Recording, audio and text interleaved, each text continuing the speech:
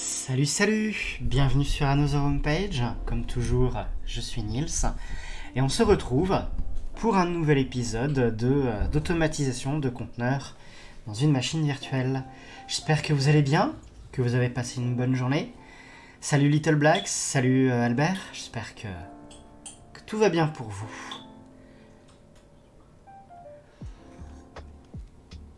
Alors j'espère que ma voix va tenir parce que je suis un peu enrhumé ces jours-ci. Je pense que vous, entendez peut-être que mon, mon nez est un peu encombré. Je dois avoir la voix légèrement nasillarde. Ah, Alors, alors, alors, aujourd'hui. Euh,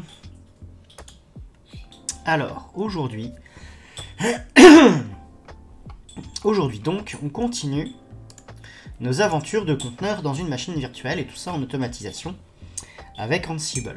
Le principe de base, ça reste toujours de se dire j'ai une VM et euh, ce que je veux, c'est pouvoir déployer plusieurs services dessus. Et déployer ces services, ça peut être plusieurs sites web, ça peut être autre chose que des sites web, et ce d'une façon, on va dire, isolée, de façon à ce que ben euh, on puisse, euh, dans une certaine mesure, on va dire, pouvoir segmenter des ressources, euh, que ce soit euh, un peu de CPU, un peu de RAM, euh, ou même si je sais que ça n'est pas la panacée avec les systèmes de conteneurs, pourquoi pas espérer que en cas de compromission d'un conteneur, toute la VM ne soit pas, ne soit pas compromise.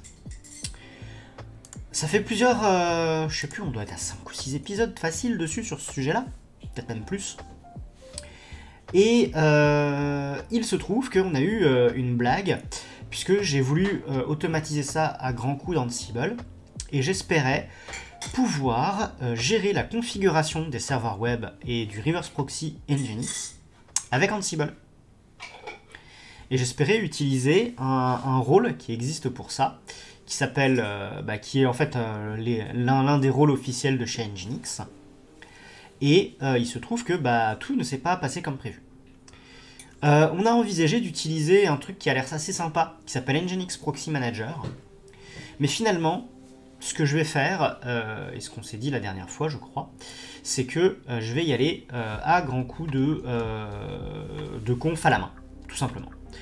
Donc, le stream d'aujourd'hui va être plutôt focus sur, sur en fait, justement, euh, on va essayer de se faire des confs Nginx un peu, euh, comment dire,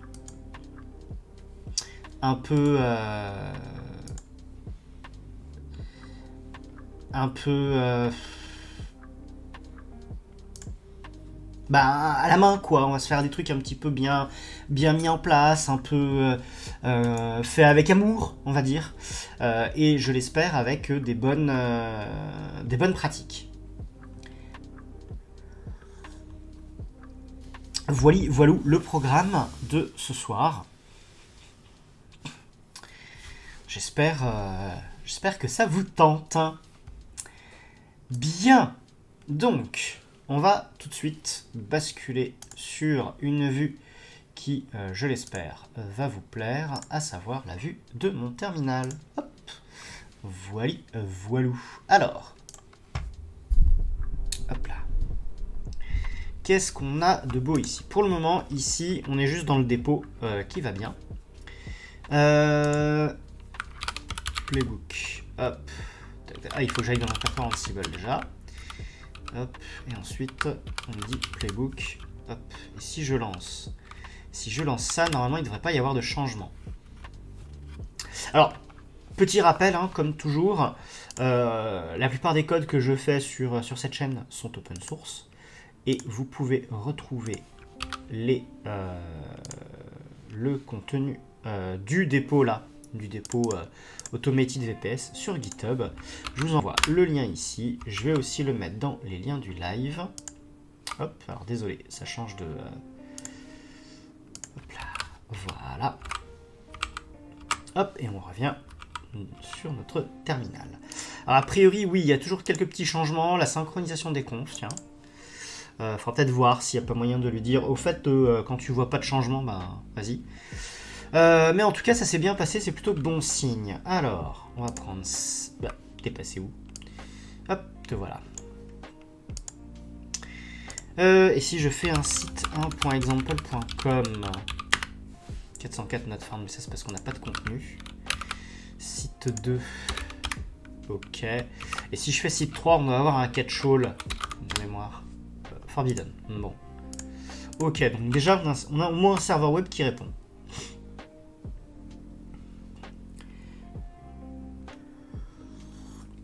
Hmm. Alors, ensuite, on va aller ici et on va aller jeter un œil. Euh...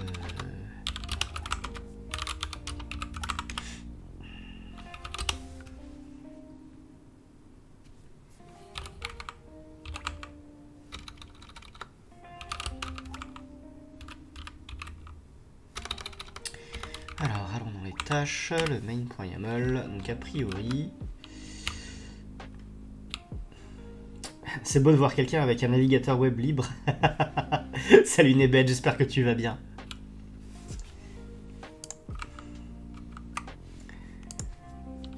Alors pour l'anecdote, pour, l'anecdote en plus, euh, l'une des raisons pour lesquelles ce, euh, Firefox est plutôt de, de couleur un peu violette, euh, il se trouve qu'il euh, s'agit de euh, l'édition développeur édition.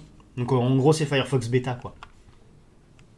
Qui donc n'est pas installé via le package de ma distrib, mais qui est le binaire détaré et collé, collé dans un sous-répertoire de mon home. Et que j'ai que j'ai configuré en mode vas-y reste tout le temps en mode en mode comment dire en mode navigation privée. Bah écoute, ça va, je pense que tu dois entendre que euh, je traîne un petit, euh, un petit rhume depuis quelques jours, mais, mais ça va bien. Hmm. Alors. Euh, il est passé où le terminal? Hop là, le voilà. donc, on avait... Est-ce qu'on avait la synchronisation? Euh... Oui, bah oui, oui, oui. T'inquiète. J'essaye. Ça va, c'est qu'un petit rhume. Hein. Euh, donc, oui. je vais faire de la conf Nginx ce soir. VPS euh, Files, je crois. Non J'ai mis quoi? Templates. Ah, j'ai effacé dans Templates. Je sais pas si c'était forcément une bonne idée. Mais c'est pas grave. Euh, on va aller sur Reverse Proxy. Et là, on a notre conf Nginx. Euh, qu'est-ce qu'on a dans la conf Nginx? On a un nginx.conf, d'autres fichiers, CGI, et ensuite on a dans conf.d, dans conf.d, on a, euh, on a les, les fichiers, de, alors ce que j'appelle les virtual hosts, alors non, enfin, c'est d'abus de langage parce que c'est vrai que j'ai démarré euh, le monde des serveurs web avec Apache. Euh, et, en fait, quand on a deux sites web différents dans Apache, euh, les directives qui permettent de passer de l'un à l'autre, ce sont ce qu'on appelle des directives de type virtual host. Mais dans le cas de, la, de Nginx, si je vous montre, alors, on va dire hop là. En fait, c'est un bloc serveur. Mais euh, par abus de langage, moi j'appelle toujours ça des virtual hosts. Voire même des V-hosts, tellement je peux être euh, un peu paresseux sur le sujet. Salut à toi Chevenet, j'espère que tu vas bien, que tu as passé une bonne journée. Alors, euh, tu fais que passer trop de boulot. Je compatis, je compatis. Courage à toi. J'espère que ça n'est que temporaire. Pense à te reposer de temps en temps. J'espère. Euh, Ah bah moi, euh, je pense que tu l'entends, euh, tu l'entends au nez. Hein. Euh. Merci beaucoup pour le follow, Qways. Merci à toi. C'est très gentil. Alors. Hop. Donc on a nos confs Nginx et moi ce que je voudrais faire c'est essayer de customiser ça d'essayer d'avoir des confs qui soient plutôt pas mal, euh, propres, euh, bien sous tout rapport. Et pour cela, je vais aller puiser de l'inspiration. Euh, quelque part. Et ce quelque part, ça va être sur un repo GitHub que j'avais signalé la fois dernière d'ailleurs. Je vais vous remettre ça. Hop. Dans le chat d'ailleurs. Et je vais le poster ici. Hop. Alors, je pourrais, euh, comment dire, je pourrais euh, cloner le repo et aller, euh, aller faire des includes directs. Je ne vais pas le faire. on va aller regarder un petit peu ce qu'il y, a, ce qu'il y a dedans et on va piocher ce qui nous intéresse. Et j'espère que, j'espère que ça passera bien. Alors, hey, salut Fixoulab Nebed, tu as remonté un... Attends, c'est quoi C'est un, un Pentium 200 MHz, euh, Nebed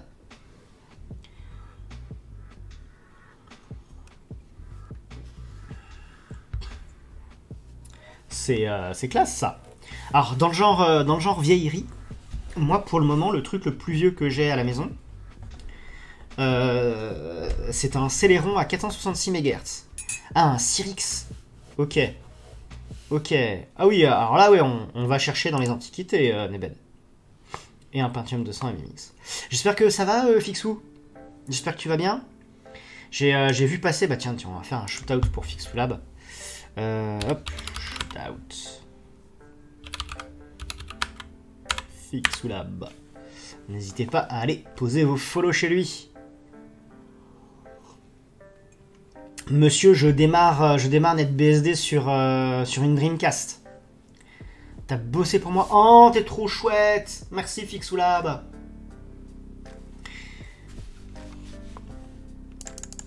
Que j'ai... Euh, il se trouve pour l'anecdote donc que j'ai que j'ai une PlayStation 2 qui dort un peu et que, et que j'aimerais lui faire faire des choses assez sympathiques à cette PlayStation 2. Genre par exemple démarrer un OS, un OS sympa. Donc, euh, donc visiblement, Fixolab est en train de me préparer le kit euh, clé en main. Et, euh, et je t'en suis très reconnaissant. Windows 12.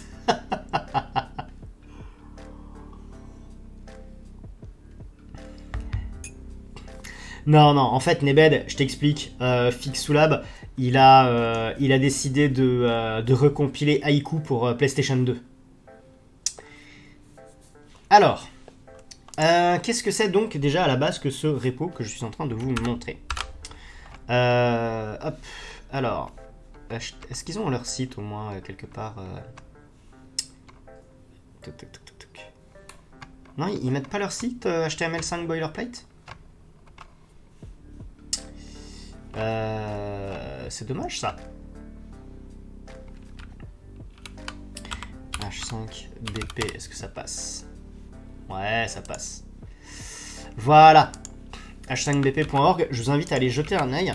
C'est assez, euh, assez sympa. Est-ce qu'ils ont un about quelque part? Non Même pas Bon, a bunch of people, blablabla, euh, bref. Donc il y, a des repos sympas, comme le HTML5 boilerplate, qui, euh, voilà, ça permet de faire rapidement des, des petits sites ou des, des web apps. Alors je m'en sers pas des masses de ce truc là, mais il faudrait que je m'en serve un petit peu plus. Par contre, par ils maintiennent des configs pour serveur web. Alors, pour Nginx, c'est ce qu'on va voir ce soir, mais ils le font, voilà, ils le font aussi pour Apache. Euh, et ils ont, euh, ils ont pas mal de trucs. Et euh, je trouve ça assez chouette ce qu'ils font. Et je vous invite, si vous, maintenez un, serveur web ou si vous codez si vous faites de l'HTML, du CSS, allez jeter un œil à leur repo. Euh, ils essayent d'avoir euh, toujours, on dirait, les, bonnes pratiques dedans. Donc c'est assez chouette. alors, comment on va s'y prendre? Déjà, on va jeter un œil à leur release. Bah ouais, moi je trouve ça assez top. Donc en gros, je, vais, euh, pense que je vais passer la soirée à, regarder globalement qu'est-ce qu'il y a dans leur repo, qu'est-ce que ça peut être sympa de mettre dans mes confs.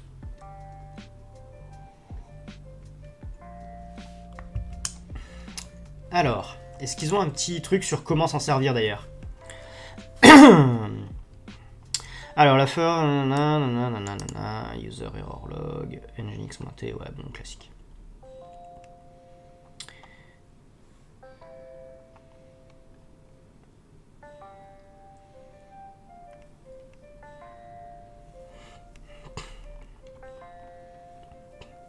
Qu'est-ce qu'ils disent? Oui, effectivement, conf.d, ça devrait contenir, ok, toutes les euh, définitions serveur. Sauf si elles sont préfixées, ou alors, ok. Ah, c'est classe ça Je suis en train de me dire qu'on va finir par... Euh, Salut The Tourist, j'espère que tu vas bien. Alors... c'est plutôt classe tout ça. Usage as reference. To use as reference requires no special. Download, check out the repository to a convenient location and adapt your existing engine incorporating the reference.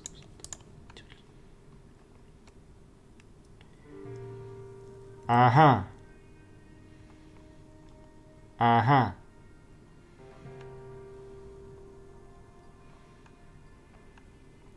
Ok. Euh, comment est-ce qu'on va s'y prendre? J'aime bien leur système. Je pense qu'on va vouloir le, recopier. Euh, on va jeter déjà un œil à leur fichier nginx.conf. Salut à toi, colonel Jambon. Euh, petit passage en attendant le début du stream. Oui, oui, oui, le début du stream de Nidouille sur Rudder à 21h, ouais. Bah, c'est gentil de passer, colonel Jambon. On verra selon l'heure à laquelle on termine et selon l'heure à laquelle euh, Nido y termine. Mais je pense que j'aurai peut-être une petite notif quand elle démarrera son, son live. Et à ce moment-là, hop, quand moi j'aurai fini, peut-être qu'on ira la raider. Si elle n'a pas terminé.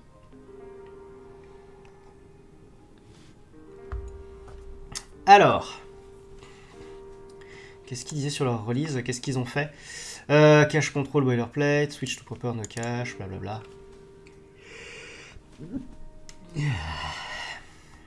Alors.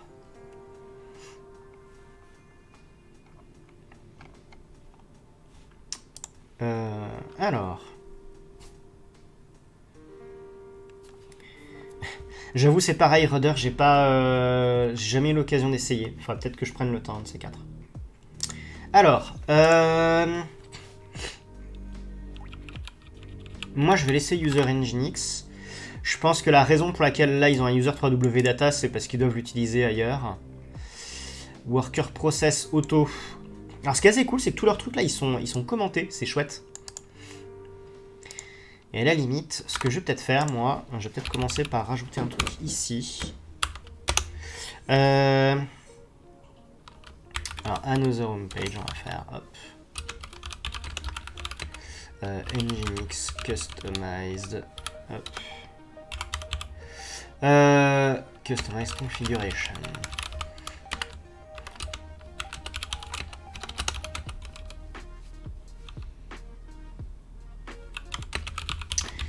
beaucoup de ces personnalisations. Customizations comme from the HTML5 boilerplate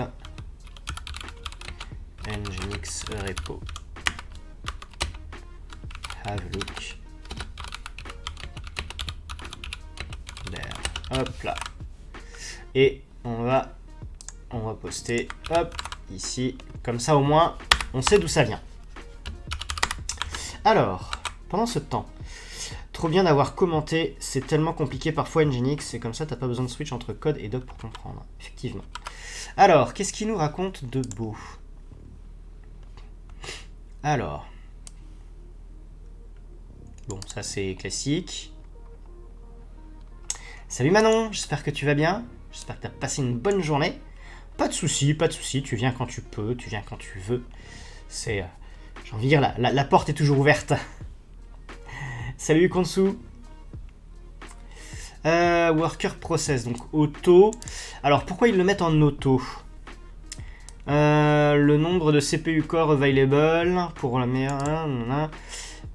Maximum nombre. Alors le nombre maximum de connexions c'est égal à worker process multiplié par worker connections. Et le auto, euh, auto ça, ça permet de calculer ça tout seul? La porte est toute verte, ouais. Ah oui, c'est vrai, Manon Félicitations pour ton concours Je pense que vous pouvez tous applaudir Manon. Qui a travaillé dur pour avoir son concours, et qui, euh, qui visiblement, euh, alors certes elle n'a pas eu son premier choix, mais elle a eu le deuxième choix qui est quand même un choix intéressant pour elle, et qu'elle apprécie. Donc, euh, donc je lui souhaite, je te souhaite, Manon, toute la réussite que tu veux.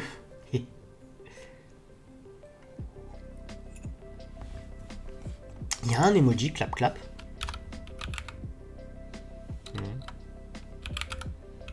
Non, il n'y a pas d'emoji clap clap. Un emoji bravo peut-être Non, même pas.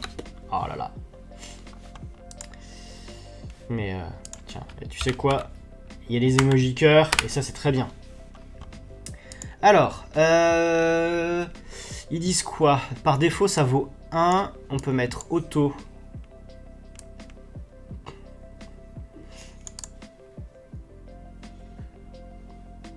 D'accord, donc le loto, c'est de l'autodétection, ça me, va, ça me va bien, ça me va bien.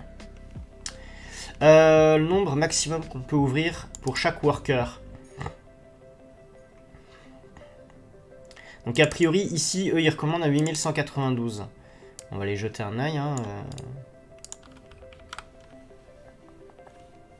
euh. on a dit que c'est le worker air limit no file. Worker air limit no file qui est ici. Change la limite du nombre, nanana. Ok. Et il n'y a pas de valeur par défaut. 8192, ça a l'air assez élevé. On va aller jeter un oeil. Qu'est-ce qu'on a ici? Est-ce qu'on l'a déjà? Parce que j'ai pas l'impression. J'ai un Worker Connections. Euh, j'ai un Worker Processes. Donc le Worker Processes, il est bien auto. Euh, et on a dit le Air Limit No File. Je ne l'ai pas. Donc on va le rajouter. Allons-y. Hop. Hop. vous savez quoi Je vais bouger ça, je vais le mettre ici. Hop. Voilà. Tac. Ensuite. Auto Detection. le dress code, c'est orange et blanc. Central Supelec. Euh, ah bah oui, orange et blanc, ouais, ça va être sympa. Euh. alors pas fort, je pensais pas au Con VLC. Je pensais plutôt, euh, je pensais plutôt à NetBSD, hein, parce que hop.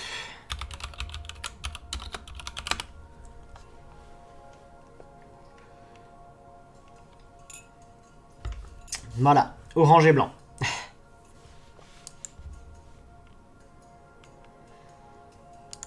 Alors, ensuite. Euh, merci, merci. Euh, ensuite, fournir le fichier de confiance.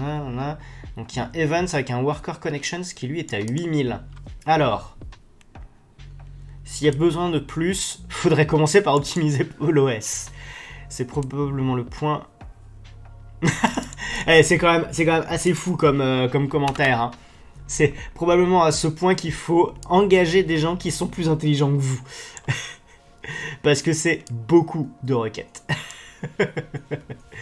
Et ça, ça devrait être inférieur à Worker Air Limit No File. Ça tombe bien, 8192, 8000, ok. Donc le Worker Connections, moi aujourd'hui je l'ai à 1024, mais on va le pousser à 8000. Hop. Ensuite, error log et alors error log. Est-ce que j'ai un error log quelque part? Non, je n'en ai pas. Donc effectivement, ah si, il est là. Il est en var log nginx error.log. Moi pour l'instant ça me va pas mal. Warn. Ah tiens, warn. Pourquoi ils mettent que warn? Alors, juste les erreurs et les warnings. Ça n'est utilisé que si je ne l'override pas sur un level serveur. Ah, c'est pas bête. Comme ça, au moins, vu que ça, c'est le fichier principal et que de toute façon, je vais vouloir mettre un catch-all, euh, ne mettre que les warnings, c'est pas bête. C'est pas bête. Euh... Ouais, c'est pas bête. Allez. Varlog, bon, ça après, ça se customise. Mais ici, on va mettre donc warn. Euh, tiens d'ailleurs, pourquoi il me le... Il me fait pas de... Il le comprend pas le... Euh, Salut à toi, Chavenet. Allez. Euh, Nebed. Ah bah, Nebed aussi, tu files? Pas de souci. Bah, bonne soirée à toi, Nebed. Ouais, bah je l'ai fait quand je peux, hein, en fait. Le, truc, c'est que euh, la, problématique de quand faire les lives, c'est. Euh, j'ai l'impression qu'on est plusieurs à se télescoper. Oh, c'est gentil ça, Manon, de rester. Merci beaucoup. C'est une problématique, hein, puisque effectivement, il y a, y a Nidouille qui, qui, qui, se met au stream et qui, cherchait un moment où streamer où elle, où elle entre guillemets, n'empiète sur personne. Et comme je disais sur Twitter, moi quand j'ai démarré, en fait au début je streamais pas euh, les, euh, les jeudis, je streamais les mercredis. Merci beaucoup pour le follow, Iron Tux. Merci à toi. Euh, je streamais les mercredis jusqu'à ce que je, je découvre Yorzian et que je me dise mince, mince, il y a... Ah tu viens de Shinidouille. oui c'est vrai qu'elle m'a mis en elle a mis plusieurs personnes en, comment dire, en mode... Euh, euh, quand, elle est, quand elle stream pas, ça montre les, les streams des autres s'ils sont en train de streamer. Et de fait, je suis, euh, je suis en, fait, je suis à la fois ici et en, et en live. Elle host mon stream en même temps. Ce qui est assez cool. Faudra que je fasse pareil pour, pour elle. Oui, c'est vrai qu'on va peut-être faire un shootout pour Nidouille. Allez hop, shootout, Nidouille. Non Ah zut, je l'ai pas. Voilà, Nidouille 77. Euh, hop. Voilà. Allez poser vos follow. Oui, franchement, il y a trop de streams intéressants même à regarder en replay. Je suis assez d'accord, The Tourist. Alors. comme ça, le jeudi soir, c'est soirée automatisation. Vous commencez chez moi avec des Lansible, puis vous, vous terminez chez Nidouille avec Rudder. Euh... Où en étions-nous? Ouais, Varlog. Ah oui, je me demandais pourquoi j'avais pas le. le euh, la coloration syntaxique qui se faisait sur le Warm. Bon, ça, ne se fait pas. Ça doit être une erreur dans le, le, euh, fichier de coloration syntaxique pour, pour Vim. Bon, le PID, on va pas le, on va pas le changer plus que ça. Alors. Ensuite, inclure les fichiers dans le custom.d. Custom configuration value file. Et eh ben on va se créer, euh, on va se créer, on va se le créer. Hop. Ah On va se le créer. À mon avis, là, la, partie HTTP, elle va sauter. Hein. Hop. Ah non, elle va pas sauter. Alors. Je pense que je vais faire comme eux. Hein. Je vais créer un répertoire H5BP, puis je vais mettre ce qui m'intéresse dedans aussi. Euh, et je vais rajouter... Je vais pas dire que je vais copier le, fichier de conf euh, tel quel, mais euh, je suis limite en train de me demander si je vais pas le mettre en RAW, hop, pour pouvoir copier-coller facilement. Voilà. où en étions-nous?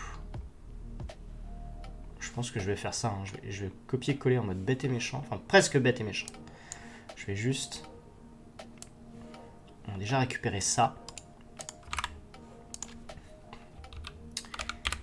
Euh, hop, oublié un truc. C'est dans, dans le truc HTTP. Alors.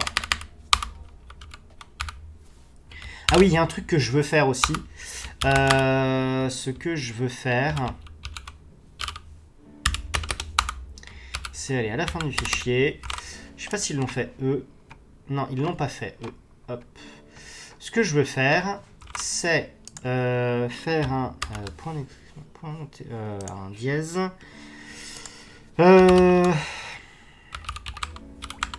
j'ai un doute, j'ai un doute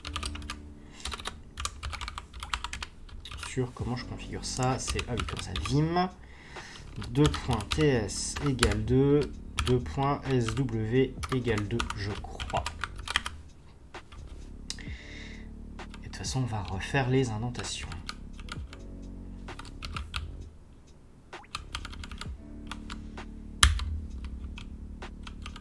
en théorie, ça, je devrais l'indenter. Voilà, ça fait 2, c'est bon. Donc là, c'est pareil, ça aussi, j'indente. Non, là, on est bon. On est bon sur l'indentation. Ok.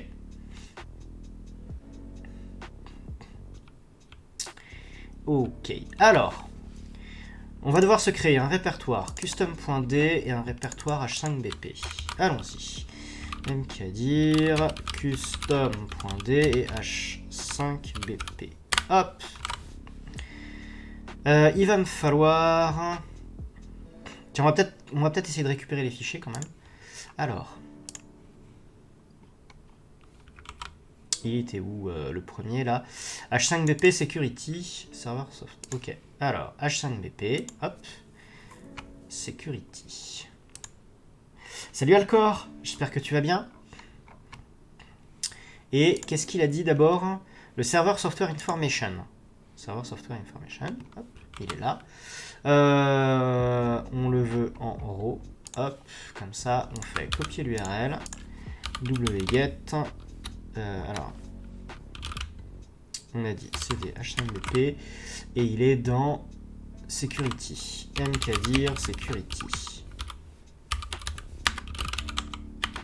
Hop, un petit wget du fichier. Et alors, qu'est-ce qui contient d'intéressant Tiens, je vais quand même vérifier qu'il est bien arrivé comme il faut. Ouais, il est arrivé comme il faut. Hop. Voilà. Euh, il est arrivé comme il faut. Qu'est-ce qu'il contient En gros, il dit juste le serveur tokens est off. Donc ça, c'est un classique. Euh, mais... Ah bah tiens, salut Nidouille, merci pour le sub.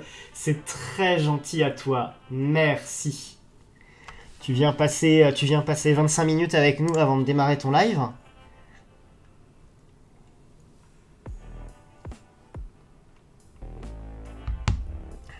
Alors, bon, a priori, euh, euh, en gros, le principe, c'est que, comme euh, comme c'est écrit sur le texte, hein, en gros, ça empêche Nginx de d'afficher le, le numéro de version. Pour le moment, vous voyez, on a, fait des 400, on a fait des 404 et des 403 là sur les serveurs web, et comme vous pouvez les voir, eh ben, on, a on a le numéro de version de Nginx. Et cette information-là, alors dans l'absolu, euh, dans l'absolu, cette information seule ne permet pas à un pirate de compromettre une machine. En revanche, savoir quelle est la version des logiciels euh, sur une plateforme que l'on souhaite compromettre, bah, c'est intéressant parce que ça permet d'aller chercher des exploits qui, euh, qui sont valides pour cette, pour cette version-là. Donc, ne pas afficher ne pas afficher le numéro de version, ça ne protège pas, mais ça permet de ralentir un euh, potentiel attaquant. Oui, oui, t'inquiète pas, Nidouille. Euh, ce qu'il faut, que tu saches, euh, c'est que de toute façon, de toute façon, les aléas du direct, tu en auras quoi qu'il arrive. Un jour ou l'autre. Si c'est pas ce soir, ce sera un autre jour. Faut juste l'accepter et être cool. Je, pense que euh, tu me suis depuis assez longtemps pour savoir que bah, des, euh, blagounettes en stream, j'en ai eu. Des euh, blagues du genre 5 minutes avant le début du stream, OBS qui décide de faire sa tête de ronchon, ça arrive. à partir de ce moment-là, faut rester zen. Mais c'est pas facile. J'admets volontiers que c'est pas facile. Oui, voilà, c'est pareil, moi aussi, ça m'est arrivé, OBS qui décide de, de, faire, de faire grève en plein milieu. Ou alors, euh, si, il y, avait la, y fois où j'avais voulu streamer depuis un ordinateur portable. Je m'étais dit, oh, ça va suffire, je fais pas les trucs qui sont graphiquement euh, super, euh, super lourds. Et puis en fait, la machine, elle était au bout de sa vie. Ah. The Tourist, bonjour, je suis à CVE truc, CVE bidule, CVE chose, c'est exactement ça. Alors, euh, la blague, Nidouille, euh, moi aujourd'hui sur le son, ça a l'air d'aller et encore. Je, sais pas, vous me direz si s'il y en a parmi vous qui ont des soucis avec mon, son. Mais, euh, mais globalement, globalement, c'est du. comment dire C'est du. faut, faut tester, faut tester. C'est ça. Alors, la soufflante du ventilo, tu pouvais sécher ton crâne avec OBS sur portable. oui, il fut un temps, j'étais low sound. Ben, en fait, pendant un moment, j'ai continué à monter, monter, monter le son. C'était bizarre. On entend bien le clavier mécanique. Bah, c'est un peu la problématique euh, Iron Tux. C'est vrai que c'est. Euh, en fait, c'est pas évident. Si je vous montre, attendez, je vais vous faire un petit envers du décor. On va prendre un petit instant. Je vais passer sur. Euh, si je passe sur cette vue-là, non pas cette vue-là, j'ai la tête à l'envers. Hop, là, voilà. Donc là, hop, voilà, là vous avez droit, vous avez droit à, euh, à l'envers du décor. Donc il y a mon écran, mon écran de droite, mon écran de gauche avec la caméra au-dessus. Coucou la caméra. Et puis là, vous avez un autre laptop avec le retour vidéo. Et donc, en dessous de l'écran, il y a bien entendu le clavier et la souris. Et qu'est-ce que l'on voit juste au-dessous de la souris? Euh, Le micro. Et pour le moment, en fait, j'ai pas réussi à trouver, euh, euh, une, position pour que le micro soit confortablement installé. D'ailleurs, vous remarquez que j'ai tendance à encore le bouger pendant, pendant les lives. Alors, désolé si ça bouge un peu. Hop. On va remettre, on va revenir sur, euh, la vue, euh, comme ça. Mais euh, c'est vrai que j'ai pas encore réussi à trouver une position parfaite pour ce micro. et alors, bah justement, colonel Jambon, ce qui m'embête, c'est que si c'est dans le champ, ben je vois plus ce que je fais. Ou alors, ou alors il faudrait que ce soit plus sur le côté, mais alors dans ce cas-là, il faudrait encore augmenter et on entend encore plus. Euh, bref. Alors, Manon qui dit J'aime bien entendre le clavier mécanique car on sait quand tu tapes des commandes à l'écran. bon, bah écoute, si au moins ça te plaît, faut pas inviter Dalila non plus. Salut petit pandarou J'espère que ça va bien, que t'as passé une bonne journée. Bon, alors, revenons sur euh, notre fichier Nginx. Alors, bah écoute, ça va, ça va, juste, euh, juste le, nez, euh, le nez un peu pris, je pense que tu dois entendre la voix un peu nasillarde. et on a une histoire de character encodings. On va aller jeter un œil à ça. Et il faudra créer, alors dans ce cas-là, ce que je vais faire, c'est que je vais aller ici, hop, et on va aller dans le répertoire. Et bah, VPS, template, on va dans Reverse Proxy, on va dans Nginx. Hop. Et donc, dans H5BP, si j'ai bien compris, il veut que je fasse un... Alors, dans ce cas, je ne vais pas aller dans H5BP, je vais aller là. On va faire mkdir. Euh, mkdir moins p. euh, hop, mkdir moins p de du media type. Voilà. Alors, tu faisais un tour sur le live et après les infos. ok, d'accord. Oui, tu veux un peu de meilleure ambiance? Bah écoute, profite. Et merci beaucoup pour le follow euh, Only, euh, only More ou Only Mori. Merci à toi. Alors, il est où ce. Alors, on avait ce fichier-là, on remonte d'un cran et on va dans Media Types. À limite, je pense que je vais, créer tout. Je, suis en train d'hésiter à vouloir directement tout cloner, mais euh, je pense qu'il vaut mieux que je repasse les choses... Euh, que je repasse les choses euh, plutôt de l'une et l'autre. Donc, allez, Media Types. Donc, on avait dit bah, Character Encodings et Media Types. on va aller récupérer.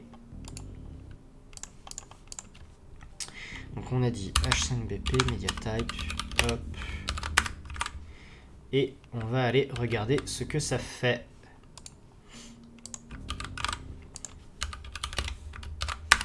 Alors, qu'est-ce qu'on a? On a d'abord le mediatypes.conf. Alors, serve resources with the proper mediatypes, c'est-à-dire les types MIME. Ok. Le include mime.types, de toute façon on en a un normalement. J'ai celui de base qui est là. Euh, alors, quel est mon objectif concrètement, plus concrètement que le titre du stream? Alors, en gros, là, ce soir, on se focalise plutôt sur la configuration de Nginx euh, en tant que reverse proxy, en tant que serveur web. Euh, l'idée, en fait, c'est de pouvoir utiliser une VM pour installer plusieurs services dessus. Ça peut être plusieurs sites web qui ont différentes technos. Bah, ça peut être autre chose qu'un euh, site web, ça peut très bien être un serveur VPN aussi. Ce que je veux en fait, c'est pouvoir euh, profiter au maximum de, je dirais, d'un serveur virtuel, d'un serveur privé virtuel, voire d'un euh, d'un petit VPS ou d'une petite offre cloud, voire d'un essai gratuit. Et je vais essayer d'en caler quelque part un maximum sur cette petite VM, mais en ayant malgré tout une segmentation, une isolation. C'est-à-dire que sur une machine physique aujourd'hui, si on veut installer plusieurs services, on va popper plusieurs VM. Mais euh, quand on est sur un cloud public, euh, on a une VM, et parfois, bah, pour des raisons, on va dire financières, on ne veut pas en mettre deux ou trois. Donc on va en mettre une, et puis bah, on va segmenter avec des conteneurs dedans. Et donc, euh, sur, euh, sur mon dépôt, euh, sur mon dépôt GitHub, j'ai démarré via Ansible de l'automatisation de déploiement de conteneurs. Et, et, là, en fait, je me focalise sur le conteneur Reverse Proxy pour personnaliser la configuration Nginx. Voilà, voilà. Ensuite, euh, ensuite, donc, j'avais le media type. A priori, a priori, si on va venir jeter un œil là-dessus, on doit avoir les informations avec les voilà les applications ce genre de choses.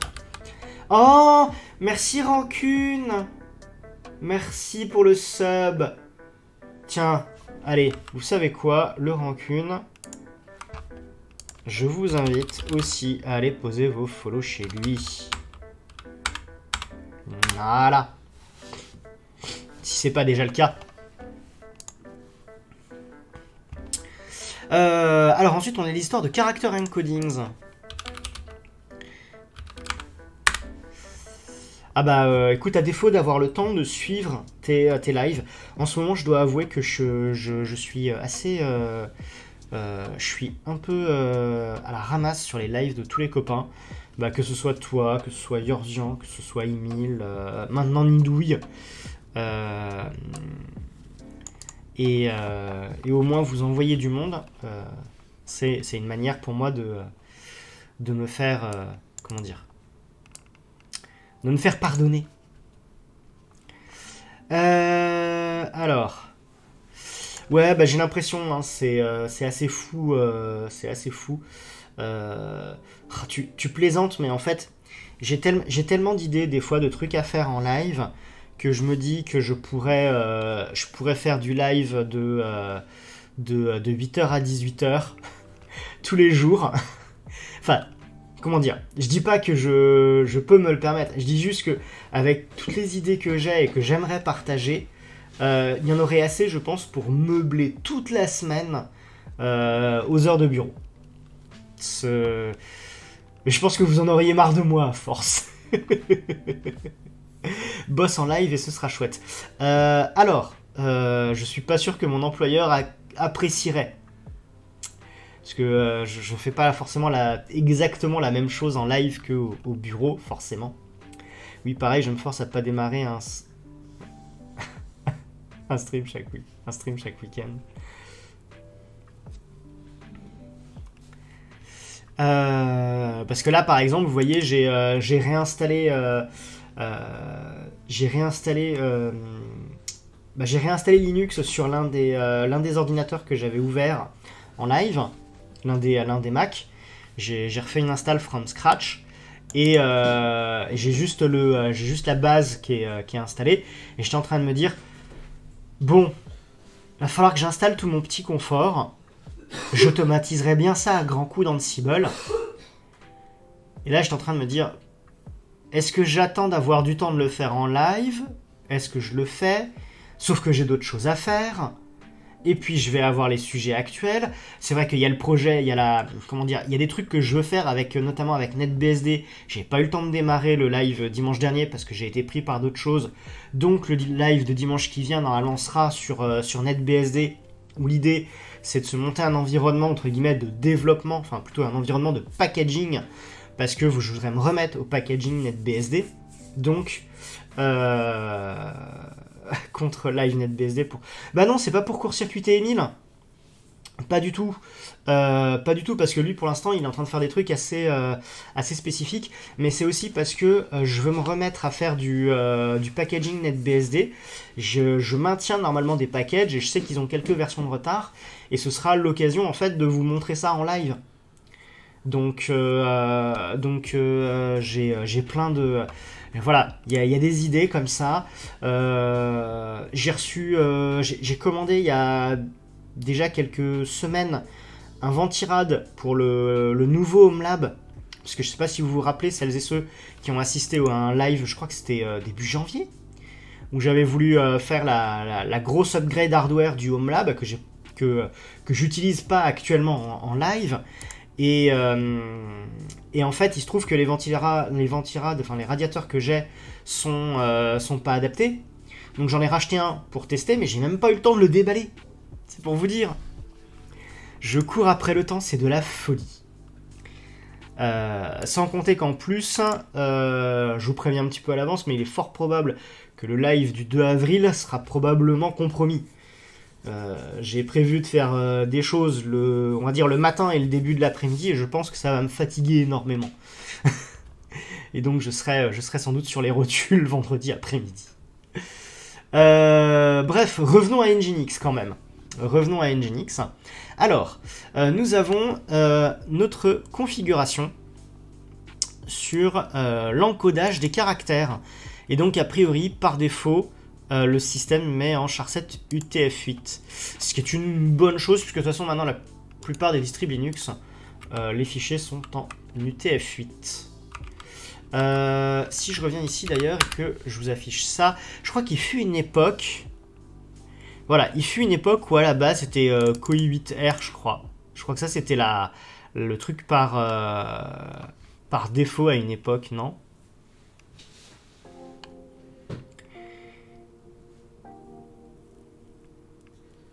Bref.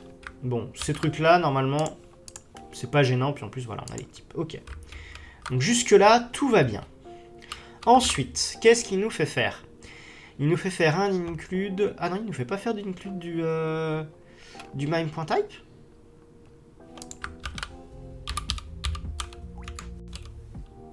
Tiens, c'est marrant ça. Alors c'est peut-être le media type qui le fait? Si je reviens et que je fais un petit cadre du media type. Ouais, c'est ça, il l'inclut ici. Ok. Donc ça, on peut l'enlever.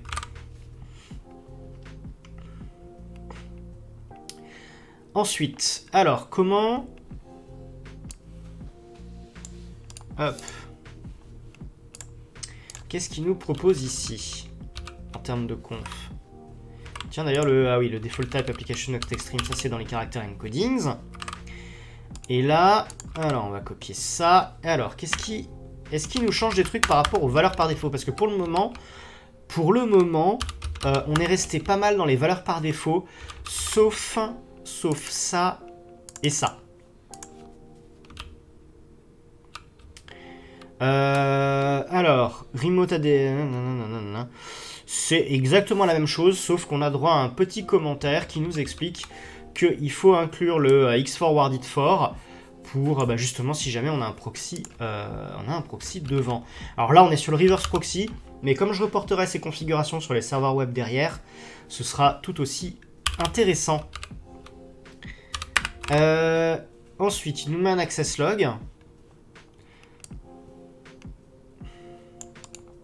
Donc là, pareil, hein, honnêtement,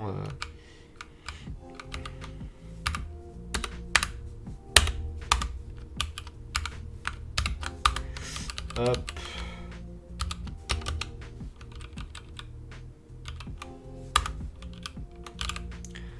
Bon, c'est un peu la même chose. Qu'est-ce qu'il nous met d'autre? Le keep live timeout, il le met à 20 secondes. Alors, combien de temps on va autoriser chaque connexion à rester, euh, à rester idle, donc à rester euh, plus ou moins inactive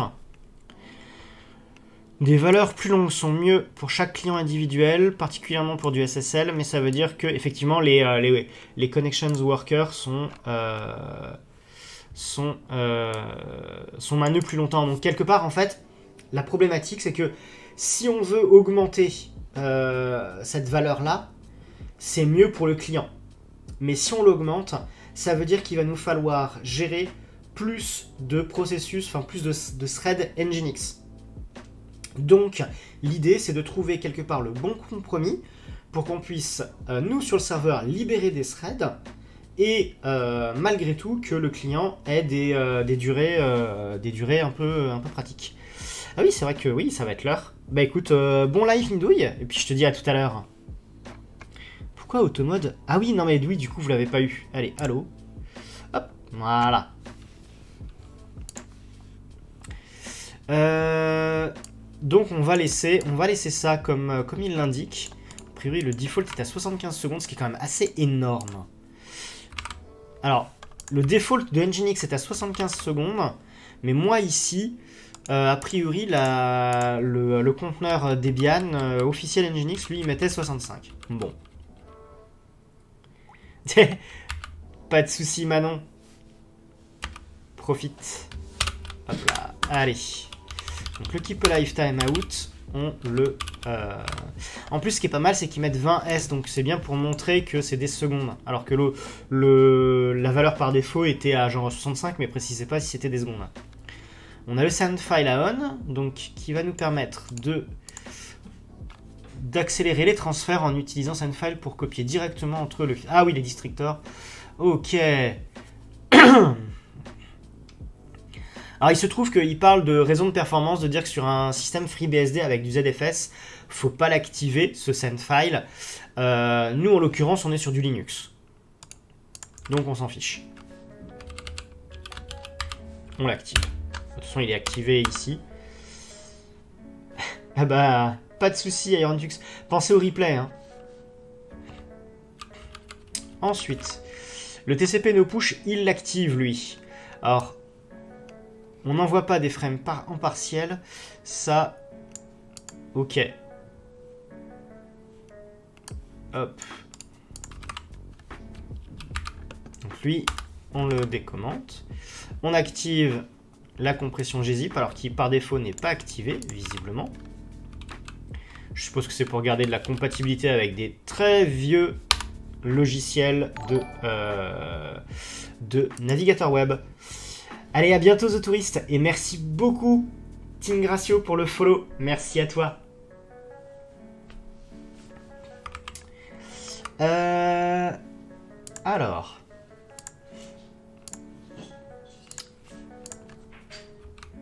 Il va falloir que je crée mon petit répertoire de web performance et qu'on aille récupérer le fichier de compression qui à mon avis est juste euh, au fait euh, j'active j'active gzip hop donc le web performance. Mkcd web underscore performance. Euh, web underscore performance. Web underscore performance. Hop voilà. Et euh, et ensuite on va aller le chercher ce fichier là on revient ici. Hop web performance. Et on a dit que c'était compression euh, bah non, attends, j'ai même pas... Si, si, si, compression comme ça.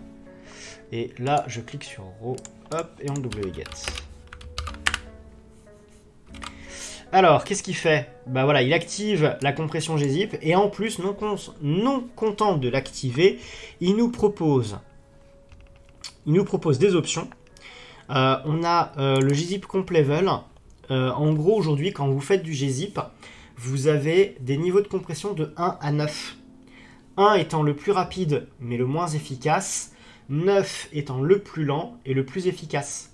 Mais honnêtement aujourd'hui, si vous faites de la compression gzip, moi je vous invite, quand vous compressez des fichiers avec gzip, à faire moins 9.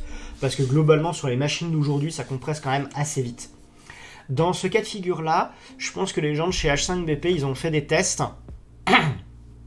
ils ont fait des tests et euh, ils se sont rendus compte que euh, envoyer de la, du, euh, de la réponse HTTP euh, compressée en, euh, gzip, là, il faut quand même pas mal de, comment dire, de, vitesse, parce que malgré tout, imaginez que vous êtes avec votre navigateur, imaginez que vous ayez à attendre que le serveur web compresse la réponse, vous l'envoie, et que ensuite votre euh, navigateur la décompresse, et eh bien peut-être que ça irait plus vite s'il compressait un peu moins fort et que donc il a envoyé votre réponse plus vite et que une fois que vous l'avez reçue, vous la décompressez un peu plus vite. Donc c'est un peu l'idée de trouver ici le juste milieu, parce que mine de rien, euh, le temps de récupérer euh, tout ça, c'est... On parle quand même de millisecondes de latence. Alors non, je n'ai pas parlé de Brotli Alcor.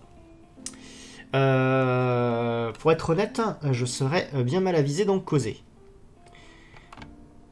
Et ensuite, forcément, on a d'autres paramètres, notamment, bah voilà, si jamais c'est déjà très petit, ça vaut pas le coup. Euh, si jamais... Euh, alors qu'est-ce qu'il dit? Compresser la donnée, même pour les clients qui se connectent avec des proxys. Ok. Donc il, il, euh, il, fait quand même du gzip. Et là il dit au proxy de mettre en cache non seulement la version compressée, mais la version non compressée d'une ressource. Au cas où.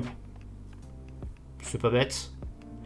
Et ensuite, il faut savoir aussi qu'on peut éviter de, euh, de compresser dans certains cas de type de fichier. Et là, en l'occurrence, à mon avis, tout ce qu'il fait, c'est euh, il compresse tout ce qui est voilà, tout ce qui est, tout ce qui est textuel. Là, vous voyez déjà le euh, XML, JSON, JavaScript, tout ça là, ça c'est du texte.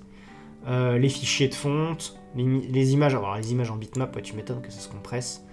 les icônes, cache manifeste, c'est CSS, JavaScript, Markdown, TextPlane, enfin voilà, tout ça, c'est du texte, donc forcément, ça se compresse très très bien. Alors, il paraît que c'est plus efficace que gzip. Je suspecte que euh, si... Euh, euh, si on a ça qui est activé, ça doit être que un certain nombre de navigateurs ne supportent peut-être pas Brotli.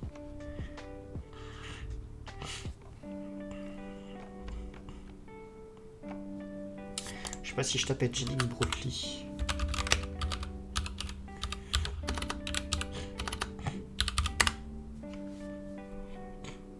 Bonne soirée petit Pandarou, merci beaucoup d'être passé.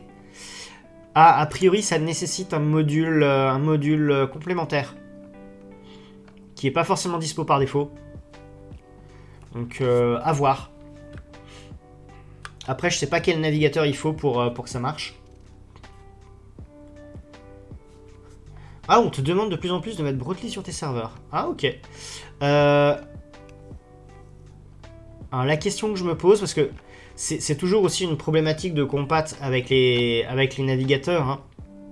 Faut pas oublier que tout le monde n'a pas forcément euh, la toute dernière version du navigateur. Je pense en particulier à des, euh, à des environnements entreprises.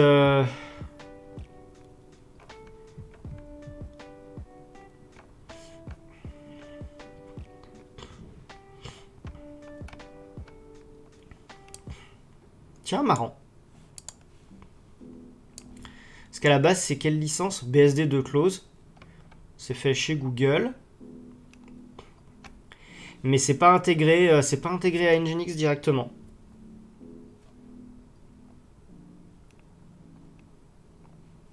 Lossless.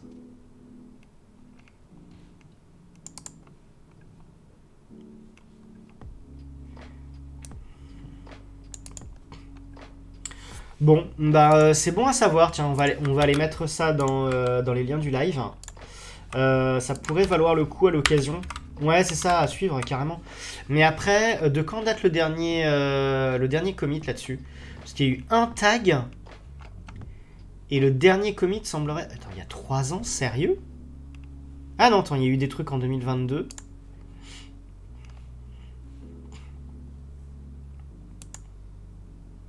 Ah, ça fait, ça fait presque un an hein, qu'il n'y a pas eu de commit. Alors, est-ce que le truc est toujours d'actualité? Euh, Et il a fait quoi? Submodule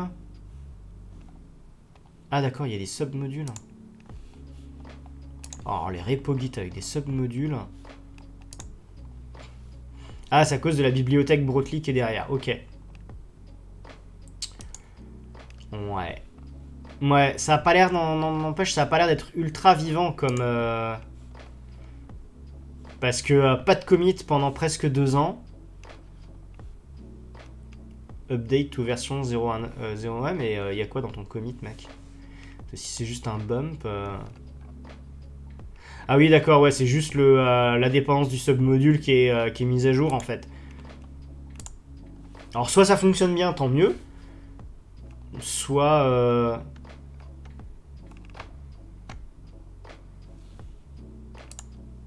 Ça, c'est la branche master en plus. Dernière release, il y a eu un tag. Ça date de quand? C'est une version 1.0.0 RC qui date de 2020. Voilà.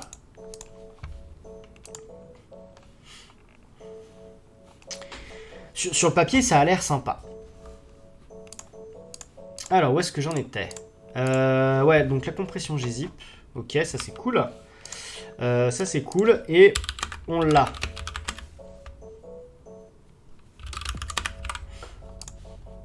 Hop. Ensuite, euh, il est où mon fichier Nginx Ça, ça c'est bon, voilà. Euh, on a des histoires d'expiration de cache. Tiens, ça va être intéressant ça aussi.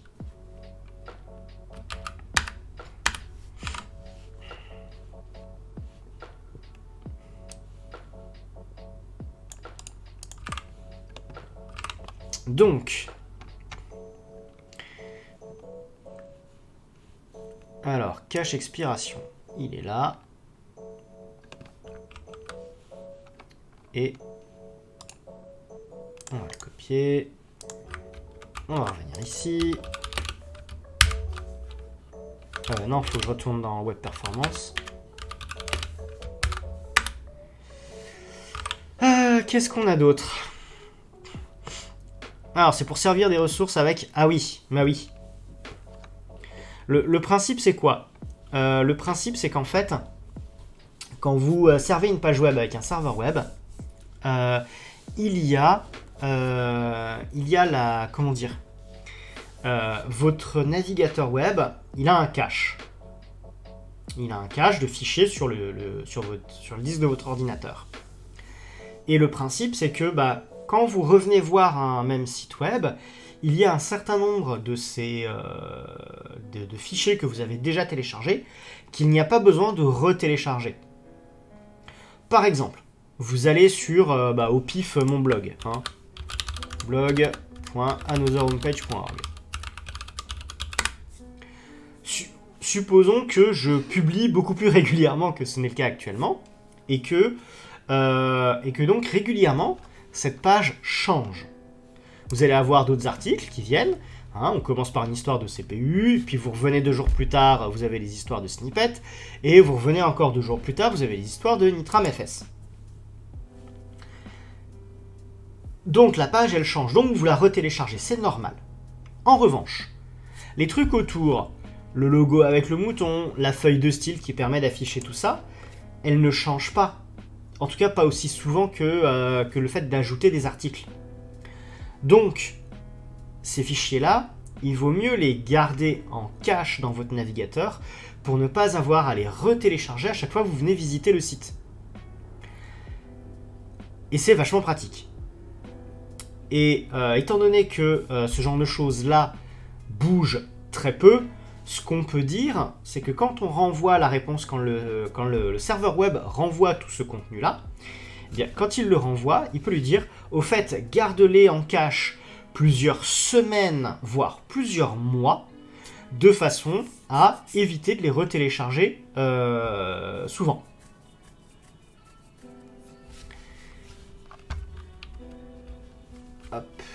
Donc, à partir de là, à partir de là, bah voilà, en gros, on peut dire que par défaut, euh, certains trucs, euh, on, voilà, il y a des fois, euh, on a une semaine, on a voire jusqu'à un an de cache. c'est plutôt pas mal. Alors ensuite, qu'est-ce qu'il nous dit? Il nous parle de cache control. Alors là, par contre, ce qui est marrant, c'est qu'il il fait pas un include, il met un truc en en commentaire avec un cachecontrol.conf. Et il y a quoi dedans? Il y a juste un add header cache control. Oui, mais attends, ça, il le, il le met nulle part.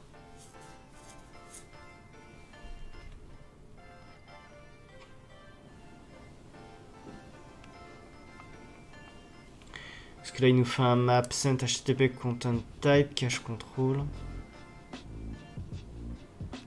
C'est chelou cette affaire. Euh, est-ce que ce serait pas mieux que j'aille jeter un œil? Ce que, je vais faire, je pense, je vais plutôt me baser sur... Est-ce que j'ai moyen de... Euh, d'aller sur ce tag-là plutôt? Ouais, browse file, voilà.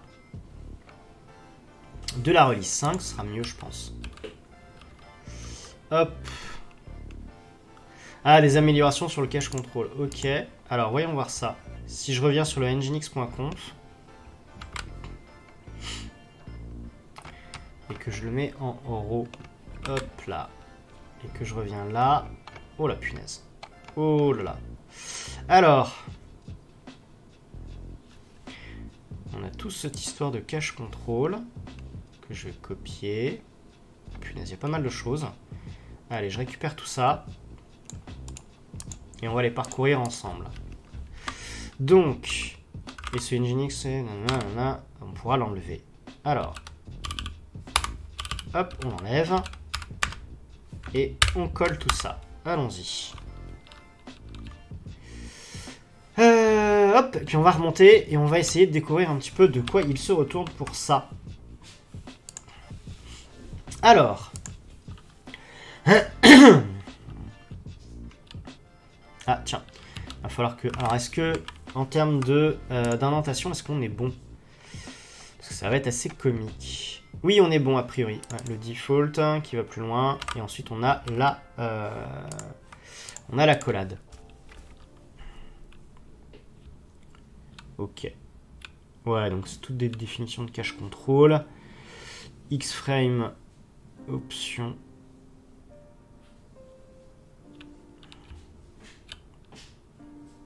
Content Security Policy. Ah ouais, pas bête. Pas bête. Euh, les Content Security Policy, c'est intéressant. C'est très intéressant parce que euh, ça permet justement de limiter, euh, de les droits salut Caméliris. Euh, question qui n'a rien à voir. Qu'est-ce que je pense d'un serveur Dell R610 Alors la 11e génération de Dell, globalement, je trouve que c'est une génération qui aujourd'hui a un avantage, c'est d'être assez facilement accessible financièrement. si je devais, pour des raisons X ou Y, acheter des machines aujourd'hui, euh, je n'irai pas plus bas que ça. Parce qu'aujourd'hui, si tu as besoin de, pièces et d'upgrades pour ce genre de machine, euh, c'est euh, relativement pas cher. Un R610 de mémoire, il est 1U, il a deux emplacements processeurs. Et en termes de mémoire, tu peux le blinder, tu peux le blinder pour bien 96 gigs, voire même un peu plus, je pense. Et euh, tu peux te procurer selon, euh, le besoin. Tu peux utiliser des euh, deux CPU, les L5640 ou, ou les, ou les X5670 ou X5690 si tu veux de la fréquence plus élevée. les L5640 ont l'avantage d'être plus bas en consommation tout en ayant 6 cœurs et 12 threads chacun. L'inconvénient, par contre, l'inconvénient, c'est que euh, la 11e génération de Dell, euh, tu te retrouves limité avec des processeurs qui ont 6 cœurs, 12 threads chacun. Maximum. Donc ça veut dire qu'au maximum, tu vas te retrouver avec 24 threads. Selon ce que tu veux en faire, euh, tu peux te retrouver limité. Donc, euh, à voir. Merci beaucoup pour le, euh, pour le follow euh, Savage Yuzu. C'est très gentil. à voir selon le prix. Par exemple, je sais pas, peut-être qu'on te l'a déjà donné et tant mieux. À voir si selon le prix, tu peux pas essayer d'avoir une, machine, une machine plus. ah, de la VM pour chez toi. Alors, que les choses soient très claires. C'est un serveur 1U, c'est un serveur rackable. Donc, tu vas avoir une, voire deux alimes à brancher. Et ça va faire un boucan, mais un boucan. Tu n'imagines pas. Euh, je sais pas exactement où tu veux le mettre chez toi, mais je peux te dire que pour avoir euh, déjà travaillé euh, à côté d'un serveur, alors pas un Dell R610 forcément, mais de manière générale, pour avoir travaillé à côté de serveurs 1 ou 2 U par moment, très vite, très vite, Prévu de le rack dans le garage.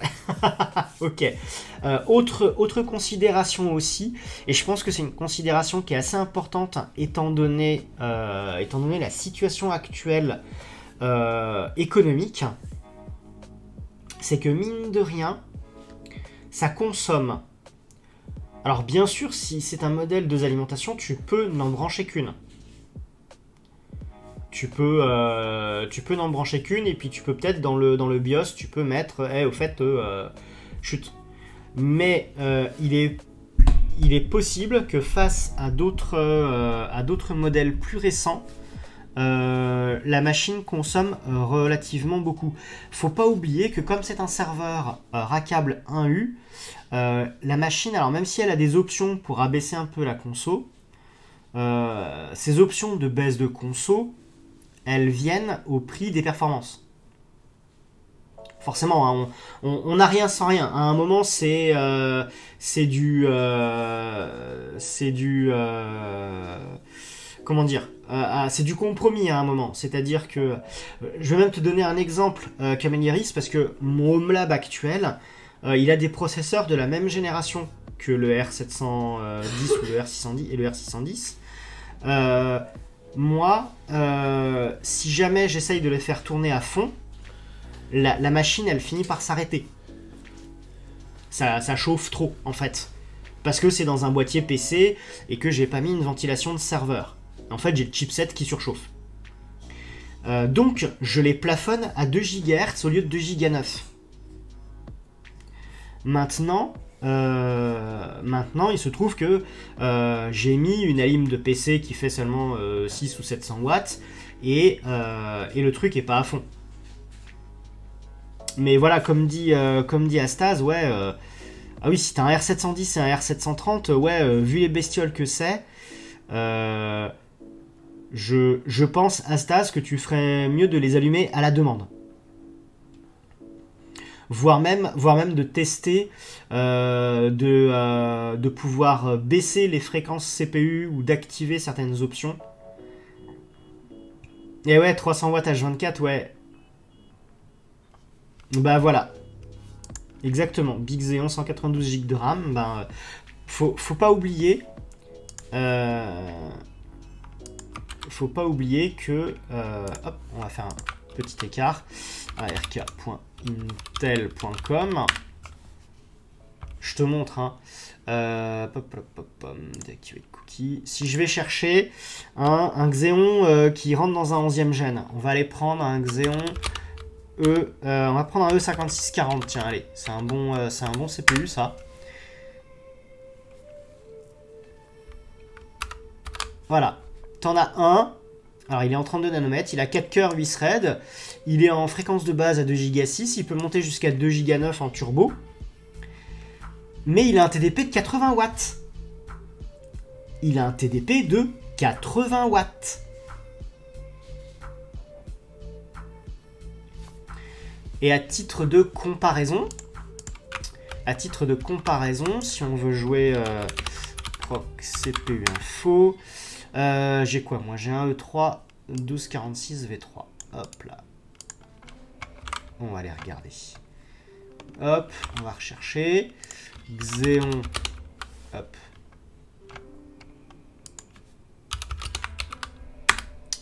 Hop. Voilà, pour à peine 4 watts de plus. Pour à peine 4 watts de plus, je me retrouve avec une fréquence beaucoup plus élevée et un processeur euh, qui a une finesse de gravure beaucoup, euh, beaucoup plus fine. Euh, qui, qui, tient, qui tient quand même pas mal. D'autres CPU que j'ai en tête, alors je pense au... Hop là, Xeon toujours. Xeon E5 2660. Je vais regarder le V2, tiens.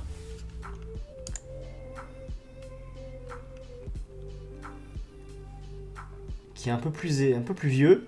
Ah non, il a, un il a un TDP assez énorme lui aussi, à 95 watts. Mais par contre, il a 10 cœurs 20 threads. Ce qui veut dire que... Ce qui veut dire que... Imaginons que tu prennes une machine un peu plus récente, genre une 12e génération.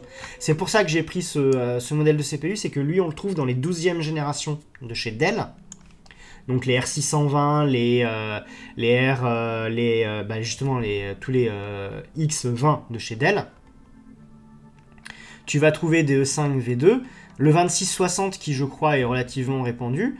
Tu as, tu as 10 cœurs 20 threads pour un CPU. Et merci euh, beaucoup euh, Jean Dur pour le, euh, pour le follow.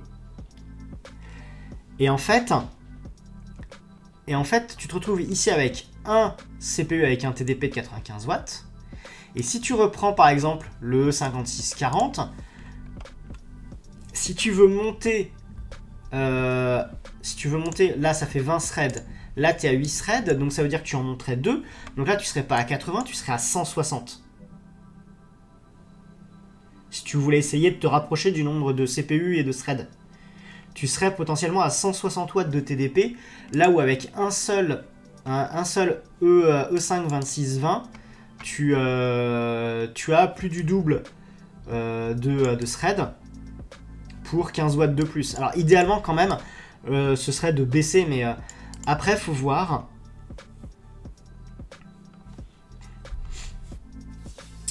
Et ben voilà, en plus des, euh, CPU avec 85 euh, watts de TDP. Euh, par exemple, sur un, sur un 11e gen, ce que tu peux faire, si tu n'as pas besoin d'une puissance monstre, tu peux aller chercher, alors ils sont pas très chers, hein, mais je, vais d'abord te montrer d'abord le, nom du CPU, le L5640, qui est le, haut de gamme sur les, euh, sur tirés L qui sont, qui sont moins consommateurs. Où là, par contre, tu vois, tu descends à 60 watts de TDP. Tout en ayant quand même 6 cœurs et 12 threads avec un turbo, avec un turbo à 2 Go 8. Mais je t'avoue que j'ai jamais réussi, enfin, j'ai jamais essayé non plus de pousser un, un, un 5640 à 2 Go 8. Mais toujours est-il que l'avantage de la 11e gêne c'est qu'elle est, euh, est vraiment pas chère. Euh, si tu vas sur eBay et que tu cherches un L5640, euh, à mon avis, si tu l'as à 20 balles, c'est le bout du monde. Hein.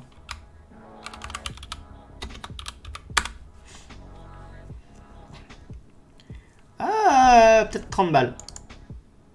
Sérieux, 193 euros? Non, là, il se gratte, il se gratte. Voilà, tu vois, tiens, original Xeon L5640, 11, 11,58 euros.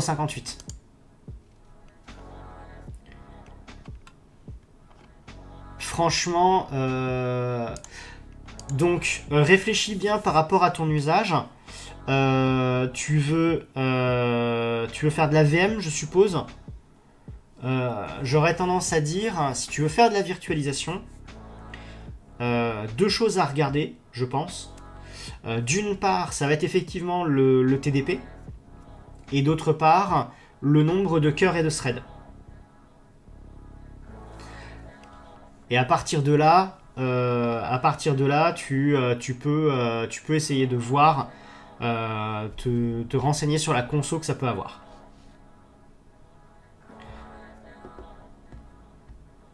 Et VMware V7 et V8 n'est plus compatible avec le R710. Ah, ça va...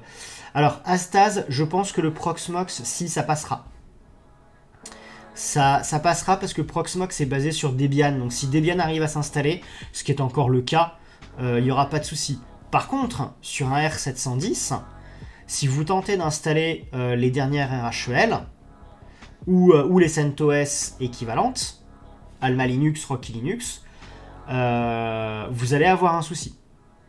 Vous allez avoir un souci parce que les cartes RAID matérielles des 11e génération de Dell ne sont plus présentes euh, les drivers, enfin en tout cas les cartes RAID sont présentes, hein, mais ce que je veux dire c'est que les drivers pour ces cartes RAID ne sont plus présents dans les noyaux, euh, dans les noyaux de Red Hat.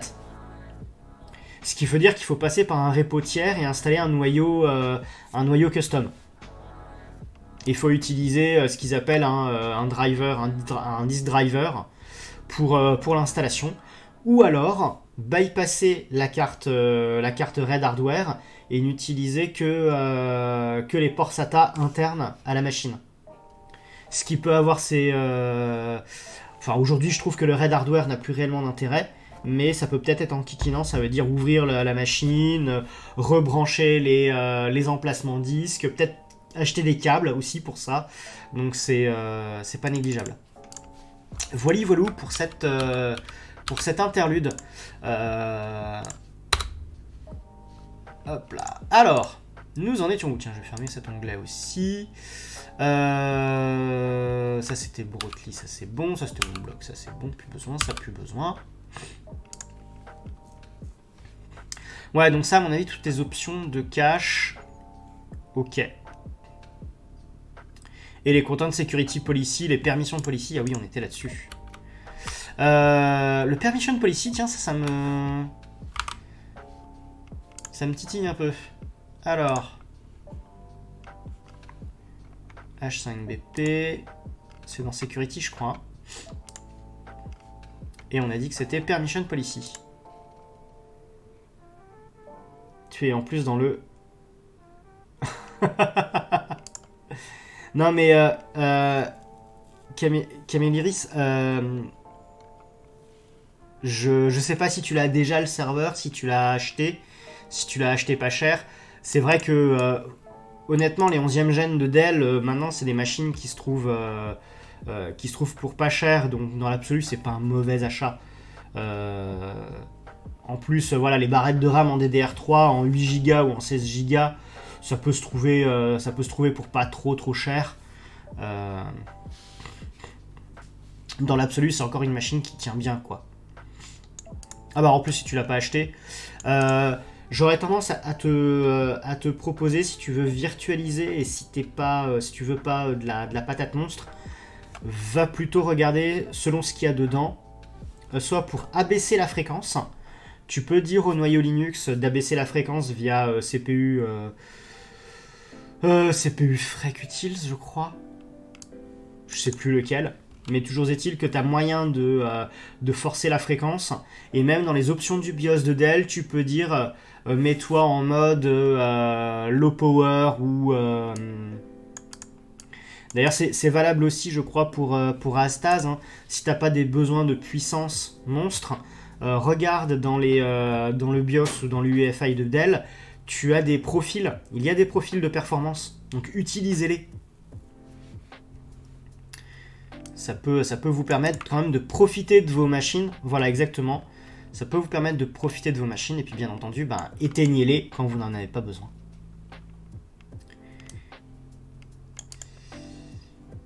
D'ailleurs, la preuve, hein, moi, mon, euh, mon Home Lab dont j'ai déjà parlé à l'occasion, euh, la plupart du temps, il est éteint.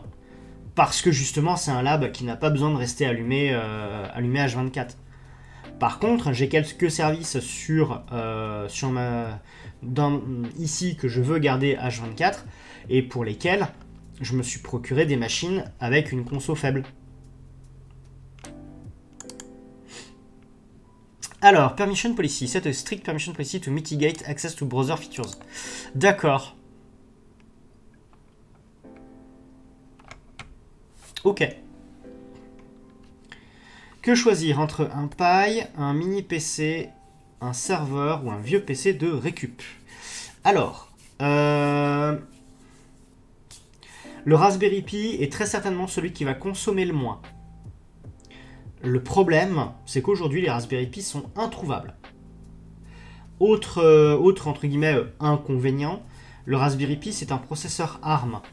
Euh, ce qui veut dire que euh, potentiellement tu peux, avoir des, euh, des euh, comment dire, des, des choses qui ne fonctionnent pas sur Raspberry Pi. Pour faire Mumuse, alors je sais pas ce que c'est JDOM, tiens. si c'est pour faire Mumuse, ça veut dire que tu vas le, tu vas pas le laisser H24 allumé.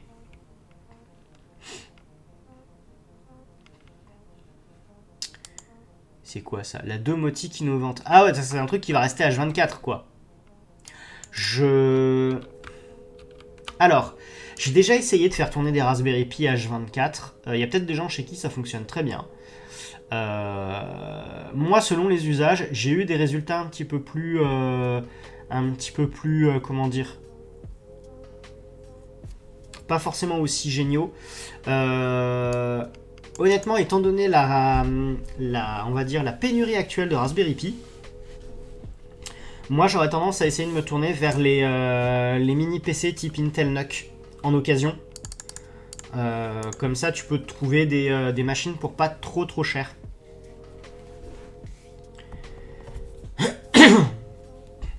Et en plus, comme tu vas te retrouver avec un SSD mSATA, voire NVMe ou SATA, tu vas avoir une fiabilité du stockage qui sera un petit peu meilleure par rapport à un Raspberry Pi.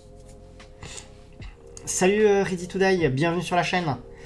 Est-ce qu'il est toujours pertinent de se lancer dans l'apprentissage du dev web en 2023, surtout avec l'arrivée de l'IA et ces modèles qui s'annoncent déjà hyper prometteurs? Alors, euh, Ready to Die, je ne sais pas si euh, si tu as si tu as déjà vu les vidéos sur YouTube. Comment il s'appelle? Qu'on en avait parlé. Euh, je crois que c'était sur. C'est Yorzian qui en avait parlé. Alors, hop, tout refusé. Euh, je crois que c'est Monsieur Phi. Voilà, Monsieur Phi. Euh, chat GPT. Voilà. Et ça, je crois que c'était sa première, sa première vidéo. Je vais vous la poster dans le, lien. Et pour moi, aujourd'hui, Intel quoi Pardon, j'ai pas entendu. Je, je sais pas de quoi tu parles là, Camé Ah, les Intel NUC Ah, les Intel NUC. Hop. Euh, hop. Intel NUC. Pour Next Unit of Computing. C'est voilà, des mini PC qui selon les gammes coûtent, euh, coûtent pas très cher. Euh, moi, je sais que j'en ai, un. J'en ai un euh, avec un, i3 dedans pour faire tourner 3 euh, pauvres VM. bon, d'accord, plutôt 5 ou 6. mais c'est des tout petites VM et ça marche très bien. Et alors, Ready to Die, ouais, ce qui se passe, c'est que moi, je pense qu'aujourd'hui, l'IA, et je suis assez d'accord sur sur ce qu'il a. Je suis assez d'accord avec ce que, ce que Monsieur Phi indique dans sa vidéo. C'est que en fait, euh, le, euh, le euh, un outil d'IA comme, comme ChatGPT, c'est avant tout en fait du T9, du T9 dopé. Mais genre, genre stéroïde anabolisant quoi, hein, mais, mais bien méchant. Enfin bien méchant. Je veux dire par là, vraiment, vraiment très, très, très, très, très fort. Et euh, pour avoir essayé ChatGPT, c'est impressionnant. C'est impressionnant ce qu'il est capable de sortir. Maintenant, je l'ai déjà pris en défaut plusieurs fois. Sur, euh, sur des, euh, bah, justement sur des sujets de processeurs. Preuve que ChatGPT ne sait absolument pas de quoi il parle. Et quel que soit le cas de figure. Maintenant, euh, c'est vrai que c'est un outil super pratique. Et, euh, je pense qu'en fait, euh, faire de l'apprentissage de dev, web ou pas web, ça reste pertinent. Ça reste pertinent parce que quand tu apprends à développer, et moi, ça, quelque part, je dirais, c'est peut-être un truc que j'aurais dû faire un peu plus, me concentrer un peu plus sur du code, parce qu'aujourd'hui, je trouve que ça me manque. Euh, je pense que à partir du moment où tu sais euh, te débrouiller pour apprendre un ou deux langages de programmation, web ou pas, tu peux ensuite, euh, tu peux ensuite euh, basculer d'un domaine à l'autre. Alors je sais qu'on peut se spécialiser en faisant du back-end, du front-end ou faire les deux, c'est-à-dire faire du full stack.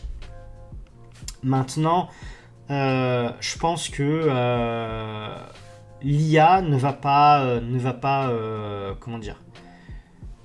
l'IA ne va pas euh, prendre tous les boulots de dev, loin de là, loin de là.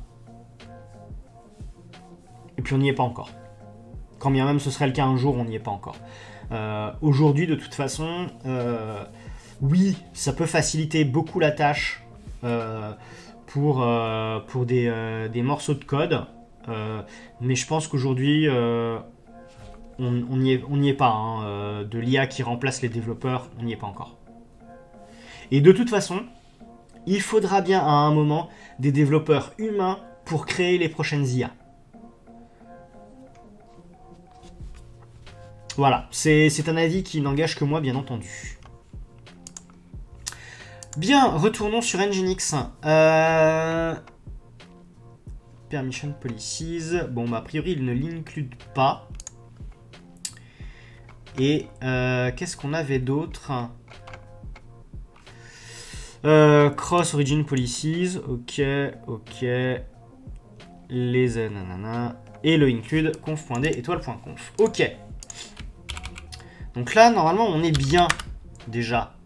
Donc je vais relancer mon euh, alors, rm étoile tilde quand même. Ah où j'ai dit étoile tilde, voilà. Et on va déjà essayer, euh, on va déjà essayer ça parce que mine de rien, ça fait un petit moment que je rajoute des trucs dans mon fichier de conf, mais je ne l'ai pas retesté. Donc, je vais revenir ici. Euh, hop. Playbook. Et on va aller voir qu'est-ce qui se passe. Euh, comment ça? Ah bah oui, c'est parce que je suis dans le rôle. Voilà. On va relancer notre bignou et on va voir qu'est-ce qui se passe.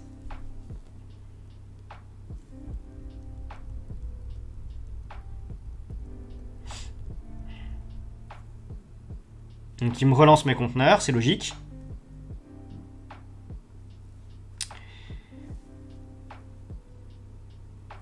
Il a synchro les conf. Ah, il a lancé les conteneurs et il les enable. C'est plutôt bon signe. C'est plutôt bon signe. On va aller se connecter quand même sur la VM.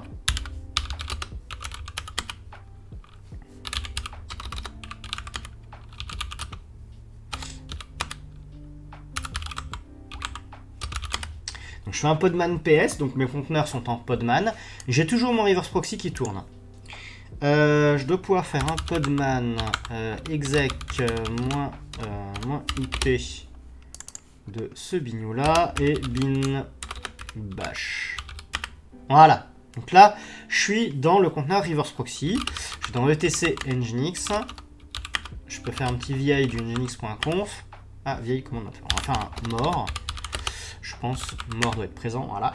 Et on peut voir que c'est bien mon fichier de conf qui a été pris en compte. Donc là déjà, ce qui est cool, c'est que euh, je peux même faire un nginx, un nginx-t de nginx.conf.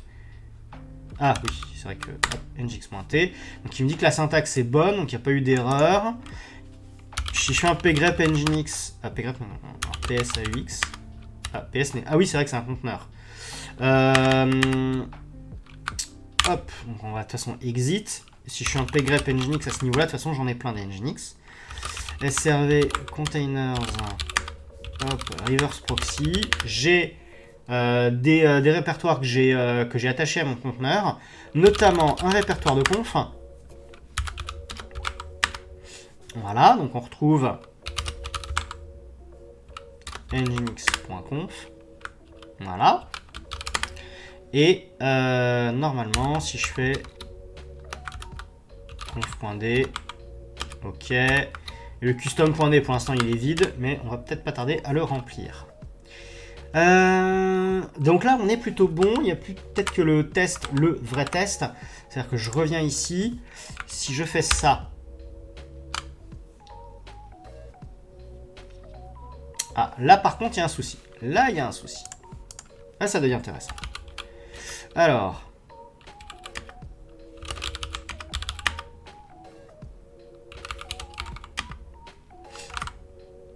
Ah si, c'est bon, il là. Non Eh oh Il m'a quand même laissé... Ah oui, bah oui, parce que c'est le 404 du, de l'autre Nginx.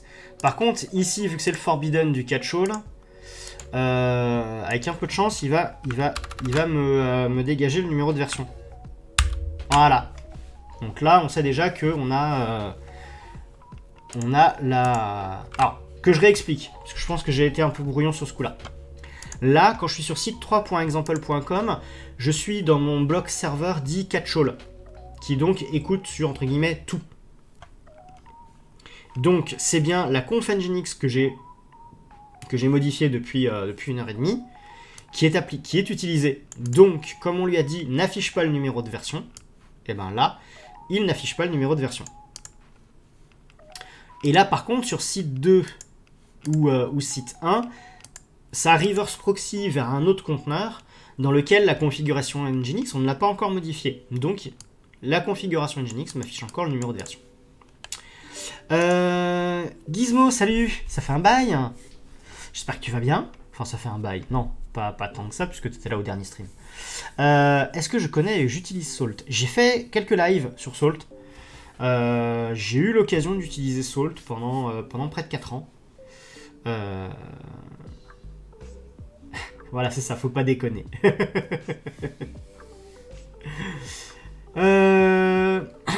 donc ouais, j'ai utilisé Salt pendant près de 4 ans. bah écoute, ça fonctionne bien. Oui, donc globalement, je pense que c'est pas mal. Je, pense qu'en fait, il n'y a pas forcément de... De façon générale, je pense qu'il n'y a pas de mauvais choix sur les outils de... Euh, sur les outils comme ça. Genre... Euh, euh, que ce soit Salt, Ansible, je pense à Puppet, je pense à Chef. Il y a Safe Engine aussi. globalement, je pense qu'aujourd'hui, c'est ça en fait. Bah, en fait, ça dépend de la manière. en fait, finalement, le choix du produit, il va se faire selon plusieurs éléments qui ne sont pas forcément la qualité du produit en lui-même, enfin du produit en tout cas de la, solution, mais c'est aussi de comment elle est adaptée, euh, comment elle est adaptée par rapport à l'environnement dans lequel on veut le déployer et qu'est-ce qu'on veut aussi euh, obtenir en le déployant. Euh, typiquement, typiquement aujourd'hui par exemple Ansible fonctionne en se connectant en SSH à des machines. Alors certes, il y a les trucs de type AWX, Ansible Tower, mais ça reste de mémoire. Alors j'ai pas essayé, mais, il n'empêche qu'aujourd'hui, quand on fait de l'Ansible, c'est essentiellement on se connecte en SSH à la machine et on fait des trucs, enfin ça fait des trucs via SSH. Alors que des outils comme, euh, comme Salt, ou euh, je pense à. Je crois que Chef aussi, mais j'ai un doute. Eux vont pas se connecter forcément en SSH, mais vont utiliser un autre moyen de communication. Ce qui fait que dans l'absolu, par exemple, si tu euh, utilises Salt pour gérer des serveurs, ben, dans l'absolu, tu peux même couper SSH sur ces serveurs. Parce que tant que Salt, tant que l'agent Salt est accessible, tu peux faire tout ce que tu veux. Et c'est déjà arrivé euh, euh, de, perdre un accès SSH sur une machine et de le réactiver via Salt. Alors, euh, la façon de s'en à job, vous avez du fog et du wapt. Donc, cloner le SSH forever. Bah, en fait, ça peut. c'est sûr que oui, SSH, couper SSH dit comme ça, ça a l'air complètement dingue. Mais euh, dans certains cas de figure, tu peux te dire qu'à partir du moment où Salt te permet d'administrer la machine, euh, idéalement, tu n'as pas à modifier de configuration à la main. Je pense que ça, réclame un certain niveau euh, d'expertise sur la solution, de se dire on peut couper SSH, euh, mais euh, mais c'est quelque chose qui est qui, je pense est, du domaine du possible et de fait en fait on se retrouve à, à, couper finalement un accès qui devient moins utile. Bon, ouf. mais tu disais on clone, on déploie 95% de Windows 10 Pro avec du soft métier, Maya, New, Unreal, Autodesk, Adobe avec du fog. Ah, et tu voudrais utiliser Salt sous Windows pour, euh, déployer ça plutôt que de cloner? Euh, Alors, pour être honnête avec toi, je n'ai jamais essayé euh, que ce soit Salt, Chef ou autre chose via, via du, avec du Windows. Je ne sais pas non plus.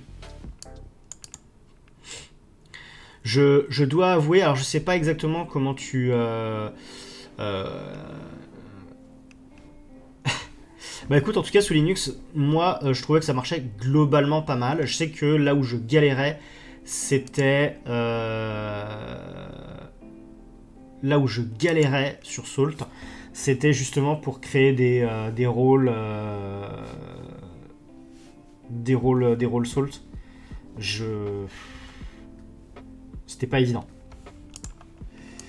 Euh... Donc... Euh... Je t'en prie, paste, paste. Euh, où est-ce que j'en étais moi sur ma conf Nginx? Bah, Moi oui, 404, normal. Euh... Ah mais attends, attends, il y a un truc qui me chiffonne là. Je suis dans le conteneur du reverse proxy access ok. Euh, si je vais dans conf, conf.d, euh, nginx, conf.d, hop, 4, euh, site 1. Je lui ai dit d'aller où? Sur les... Ah, je lui ai pas donné accès, je lui ai donné ni access log ni error log, c'est donc pour ça, ok. Alors, est-ce qu'on peut continuer ces histoires de...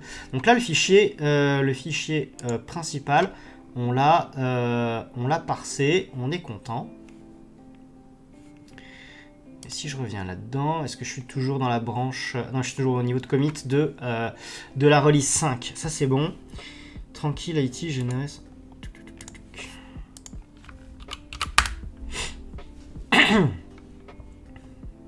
Je connais pas du tout.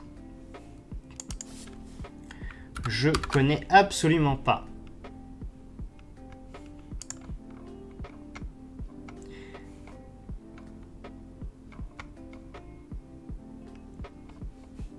Visa de sécurité à NSSI. Ok. C'est rassurant. Voir le logo de la NSSI là-dessus. Euh, bon, les clients. Bibliothèque de paquets logiciels. Documentation. Tutoriel. Bon, ça a l'air pas mal. Hein.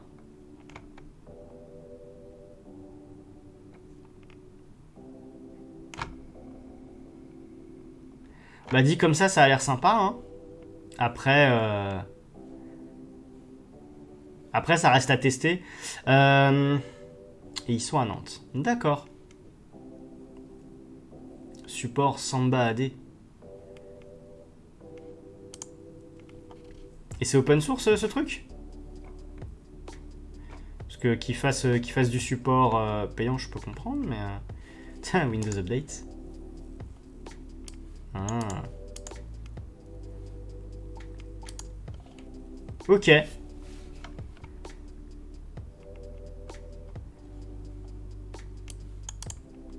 Une version community, une version. Ah oui, donc Discovery. Consulter la télécharger. Ah mais ah oui, d'accord, faut quand même filer ces, euh, ces infos.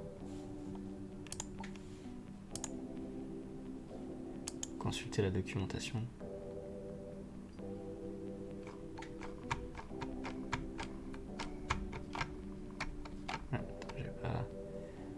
de l'agence Windows. Je sais pas, pour l'instant je vois pas où est le code source, donc euh, mais bon.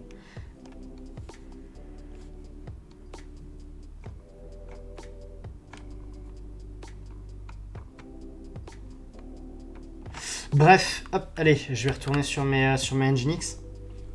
Mais ça a l'air intéressant en tout cas. Euh, ce serait euh, plus sympa que effectivement euh, cloner, euh, cloner des, des images. oui,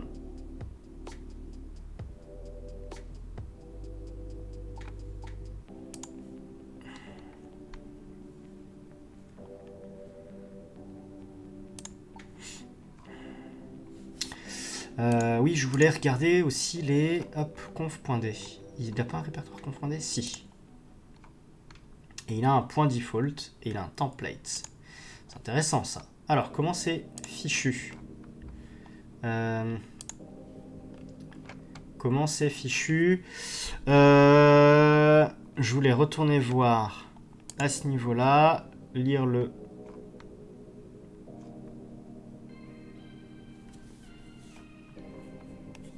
dans conf.d, il y a un default avec des templates. Et ce répertoire devrait quand même... Except... Ok. Donc je vais peut-être récupérer... Je vais récupérer les, euh, les, le conf.d avec le template et on va voir si on peut faire joujou avec. Alors. Déjà, celui-ci, on le copie. Donc là, je suis dans juste conf.d. Donc on va revenir là. Euh, on a dit rôle VPS. Euh, templates. reverse proxy. Nginx. Conf.d. Hop.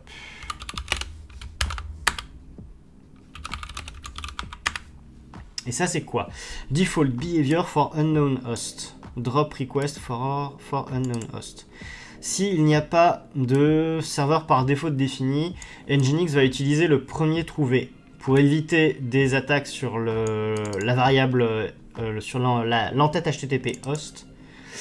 Euh, il est recommandé d'avoir une requête qui renvoie 444 no response. Allez, il fait un return. Euh, ok. Alors. Ah, il listen sur le 443. Tiens, c'est marrant ça. Il a pas une version en, 80 Donc ça, c'est le point default.conf. Et il a un OSSL. Ah, il a un OSSL default.conf qui est peu de choses près la même. Ok. Bien vu. Ensuite,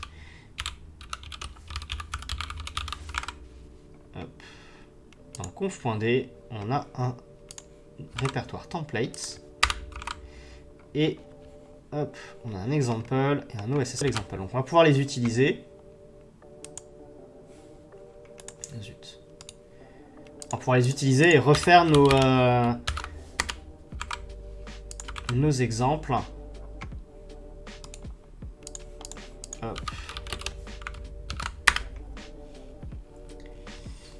Un truc intéressant, c'est le déploiement d'un firewall applicatif. Sur, sur quoi? Alors. Ce file est un template, ouais. Et eh bah ben alors ça tombe bien. Ça tombe franchement bien. Ce qu'on va pouvoir faire, c'est hop, on revient là. Euh, ce qu'on va faire pour le moment, c'est qu'on va faire un cp-vp du euh, no ssl default.conf dans point slash euh, bah non du template hop templates no ssl example.conf euh, remarque attends hop là j'ai quoi? J'ai un site 1.example alors mv site 1 dans euh, site 1 hold voilà et ensuite on fait un cp-vp de templates no-ssl. Et on va l'appeler no-ssl. Point, et on va faire site1.example.com.conf. Voilà. vi no-ssl.site1. Voilà. Et là, ce qu'on peut faire, c'est qu'on peut faire 2.%s slash, on va lui dire 3w. Ah oui, ben, ce qu'on peut faire, c'est faire donc example.com slash site1.example.com et donc normalement voilà parfait ça c'est cool on y est presque on y est presque parce que euh, on va faire un vi-p du noSSL site 1 et le site 1, hop. Alors, comme ça on a les deux. Alors, qu'est-ce que j'avais mis comme euh, emplacement? var 3w site1.example.com slash public. Alors, j'avais laissé le route euh, user share nginx.html. Ah oui, c'est parce que c'est un proxy pass le mien. C'est un proxy pass. Donc,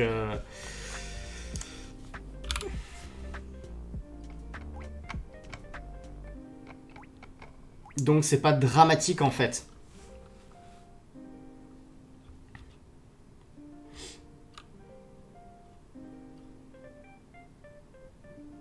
Mhm. Donc, ce que je vais faire, bah, c'est que je vais reprendre le euh, user sharing linux.html.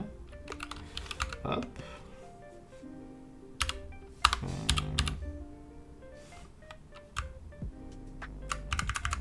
On va faire ça. Euh, non, pas ça. Pas ça. Hop là. Voilà.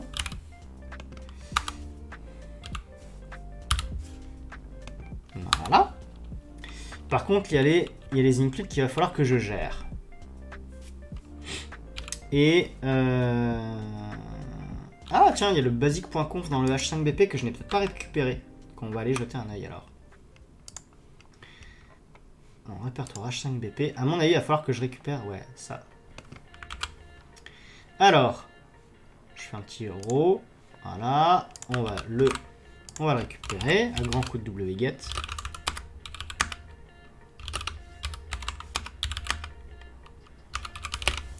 Va regarder ce qu'il y a dessus.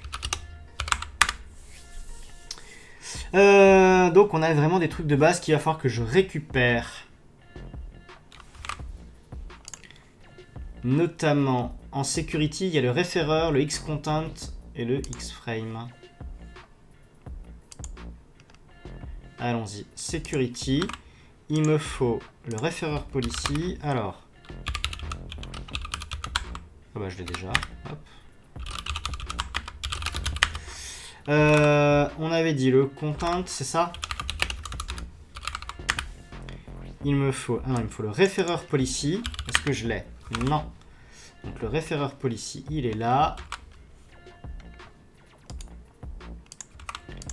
Alors je sais que c'est un peu longuet ce que je fais, mais en gros ça permet quand même d'être un petit peu plus euh, sûr de ce que je mets dedans comme conf. J'aurais pu hein, juste git clone et juste modifier 2-3 bricoles, mais c'est pas pareil. Là au moins on, voit les confs, on sait, euh, on, s'en imprègne en fait. Euh, non, il faut que je en security. On a quoi? On a le basic.conf avec le xcontent type option. Euh, xcontent type.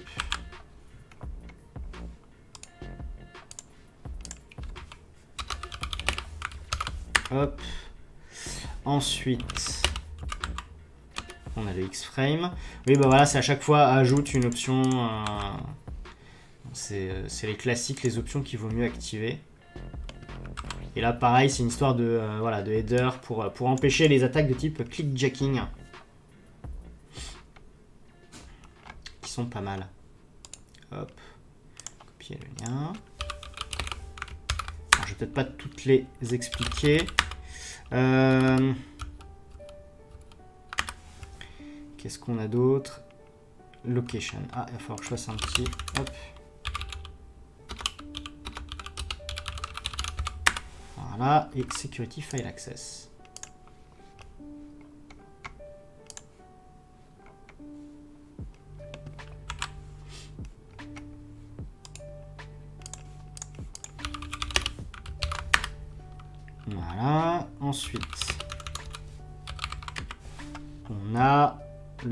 Origin.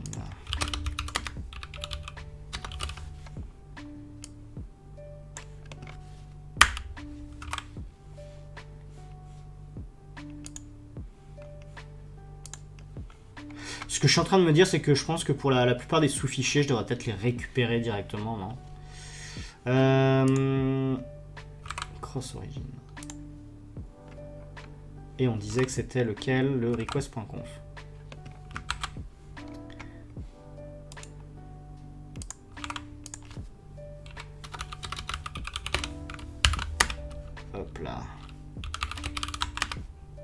Ouais, pareil, bon, il... Euh, le, voilà.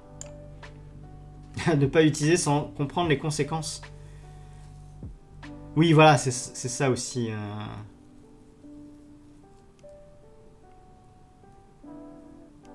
Ah bah, de toute façon, c'est... Alors, attends.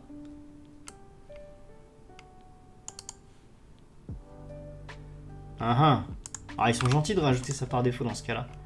Un peu, un peu bizarre, cette affaire. Faudra qu'on se pose des questions dessus. Euh... Donc là, normalement... ça, on est bon.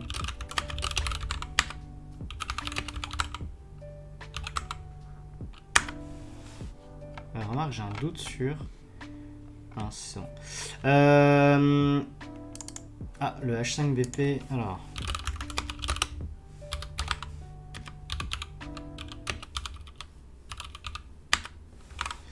Et on a dans le errors, et on a un custom errors. Copier, non, copier le lien. En haut. Hop. Oui, bah oui, bah ça, customiser la page, la page d'erreur 404, elle va pas être trouvée à mon avis. Euh, ok, allez, ça se tente. On revient.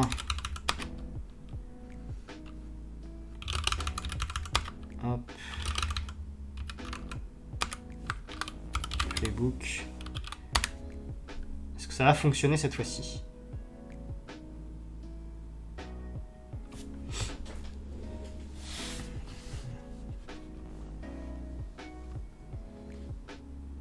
Est-ce que Nginx-T va marcher?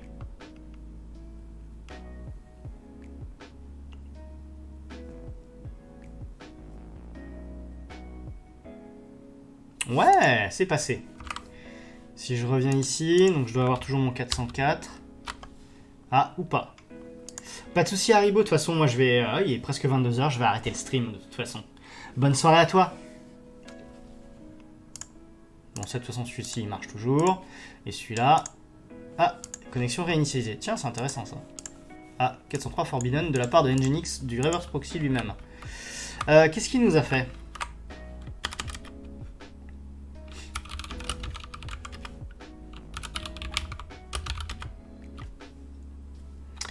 Aller jeter un œil. De toute façon, on a forcément... Voilà. Donc là, on a bien tout ce qu'on a déployé.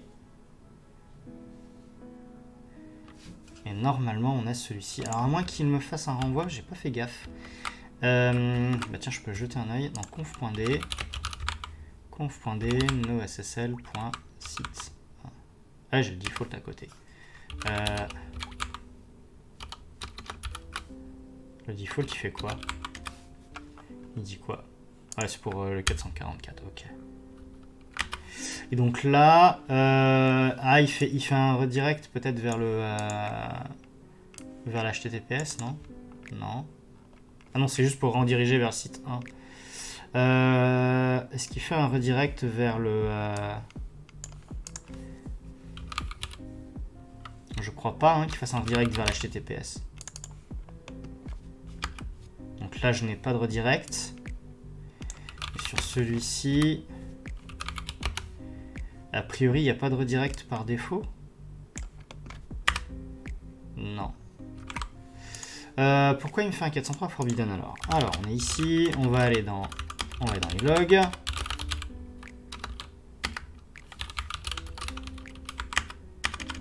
Hop.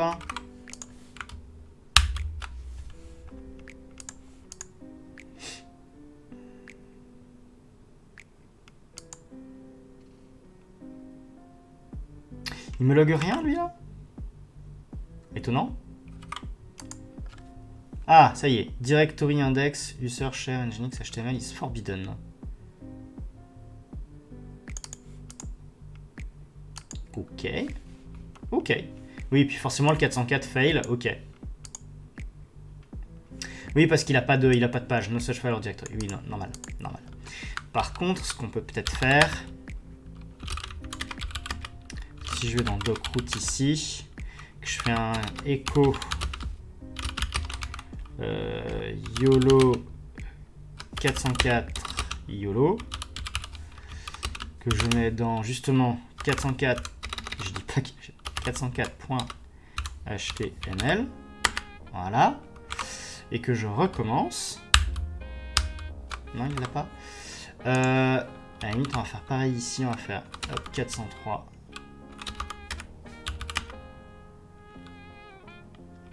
Parce que normalement, le usershare Nginx HTML, si je reviens vérifier... Euh, si je reviens vérifier dans mon... Euh,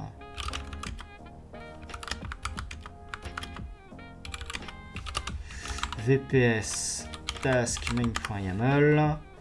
Euh, où est-ce que c'est? Ah non, c'est dans les vars.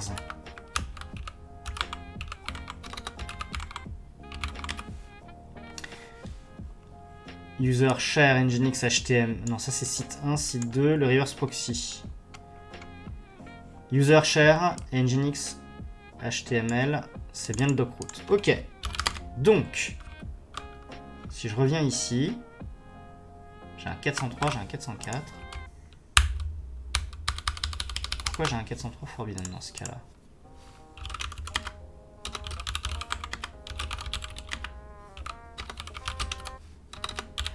N10 error.log et ok la favicon c'est une chose. Directory index is forbidden. Ok. Euh, ce qu'on va faire c'est qu'on va retourner là on va retourner dans routes. Et ce qu'on va faire c'est qu'on va créer un index.html euh, je fais un echo euh, reverse proxy. Ah bah oui forcément j'avais pas mis de j'avais pas mis la conf reverse proxy. C'est pour ça. Dans index.html. Allez.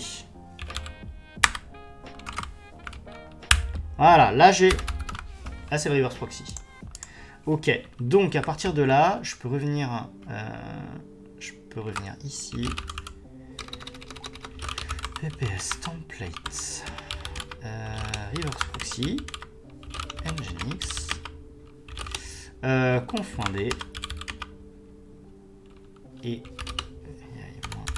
on va prendre le SSL site 1 et le site 1, hop, voilà. Et on va copier ceci. Et on va se le rajouter, euh, on va se le rajouter à la fin. Voilà, euh, bah non. Faire un P plutôt, voilà. Ensuite, tout ça, on se fait un petit... Ouais, j'aurais préféré... Alors, on réinvente proprement. Ok. Euh, hop, alors. On dit vim 2.ts égale 2, 2.sw égale 2. Voilà, comme ça, ça va être correctement inventé.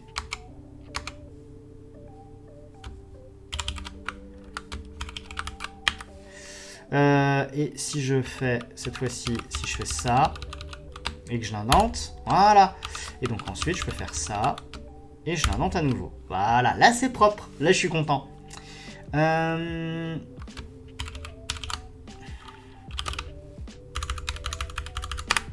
et on va le... Euh... Ah, quoi que je l'avais pas ici. Si, je l'avais là.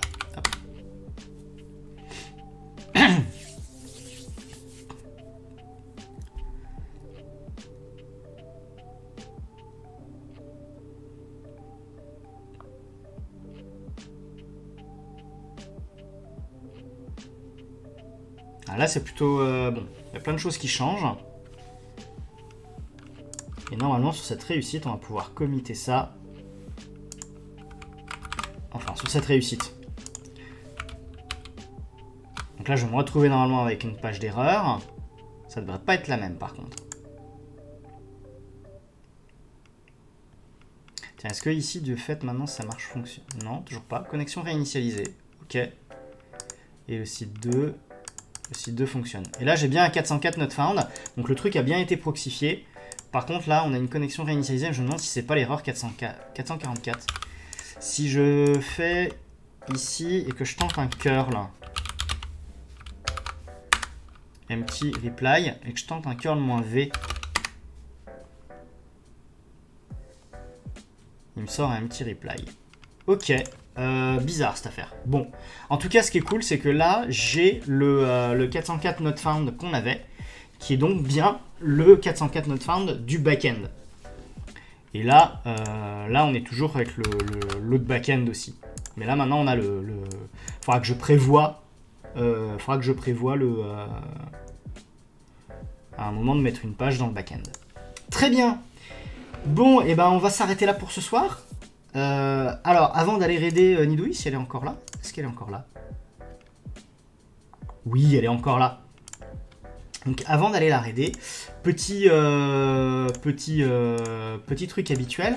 Comme d'habitude, je stream donc les jeudis de 20h à 22h et les vendredis, et pas les vendredis, mais les, dimanches de 18h à 20h. Euh, cette partie-là, avec le, le Ansible, la machine virtuelle et les, petits, les petits conteneurs, ça reste réservé au jeudi. Et le dimanche, on fait d'autres trucs. On va commencer justement un nouveau projet euh, à base de euh, d'empaquetage pour euh, NetBSD. On va faire des paquets logiciels pour NetBSD. Ou en tout cas mettre à jour des paquets existants pour, NetBSD. Et je vais me monter en fait mon environnement, remonter mon environnement de développement.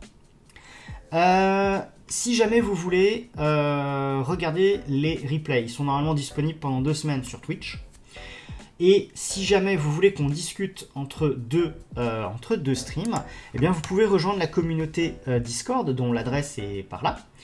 Euh, et vous avez aussi mes réseaux sociaux, je pense notamment à Mastodon, Twitter, Instagram.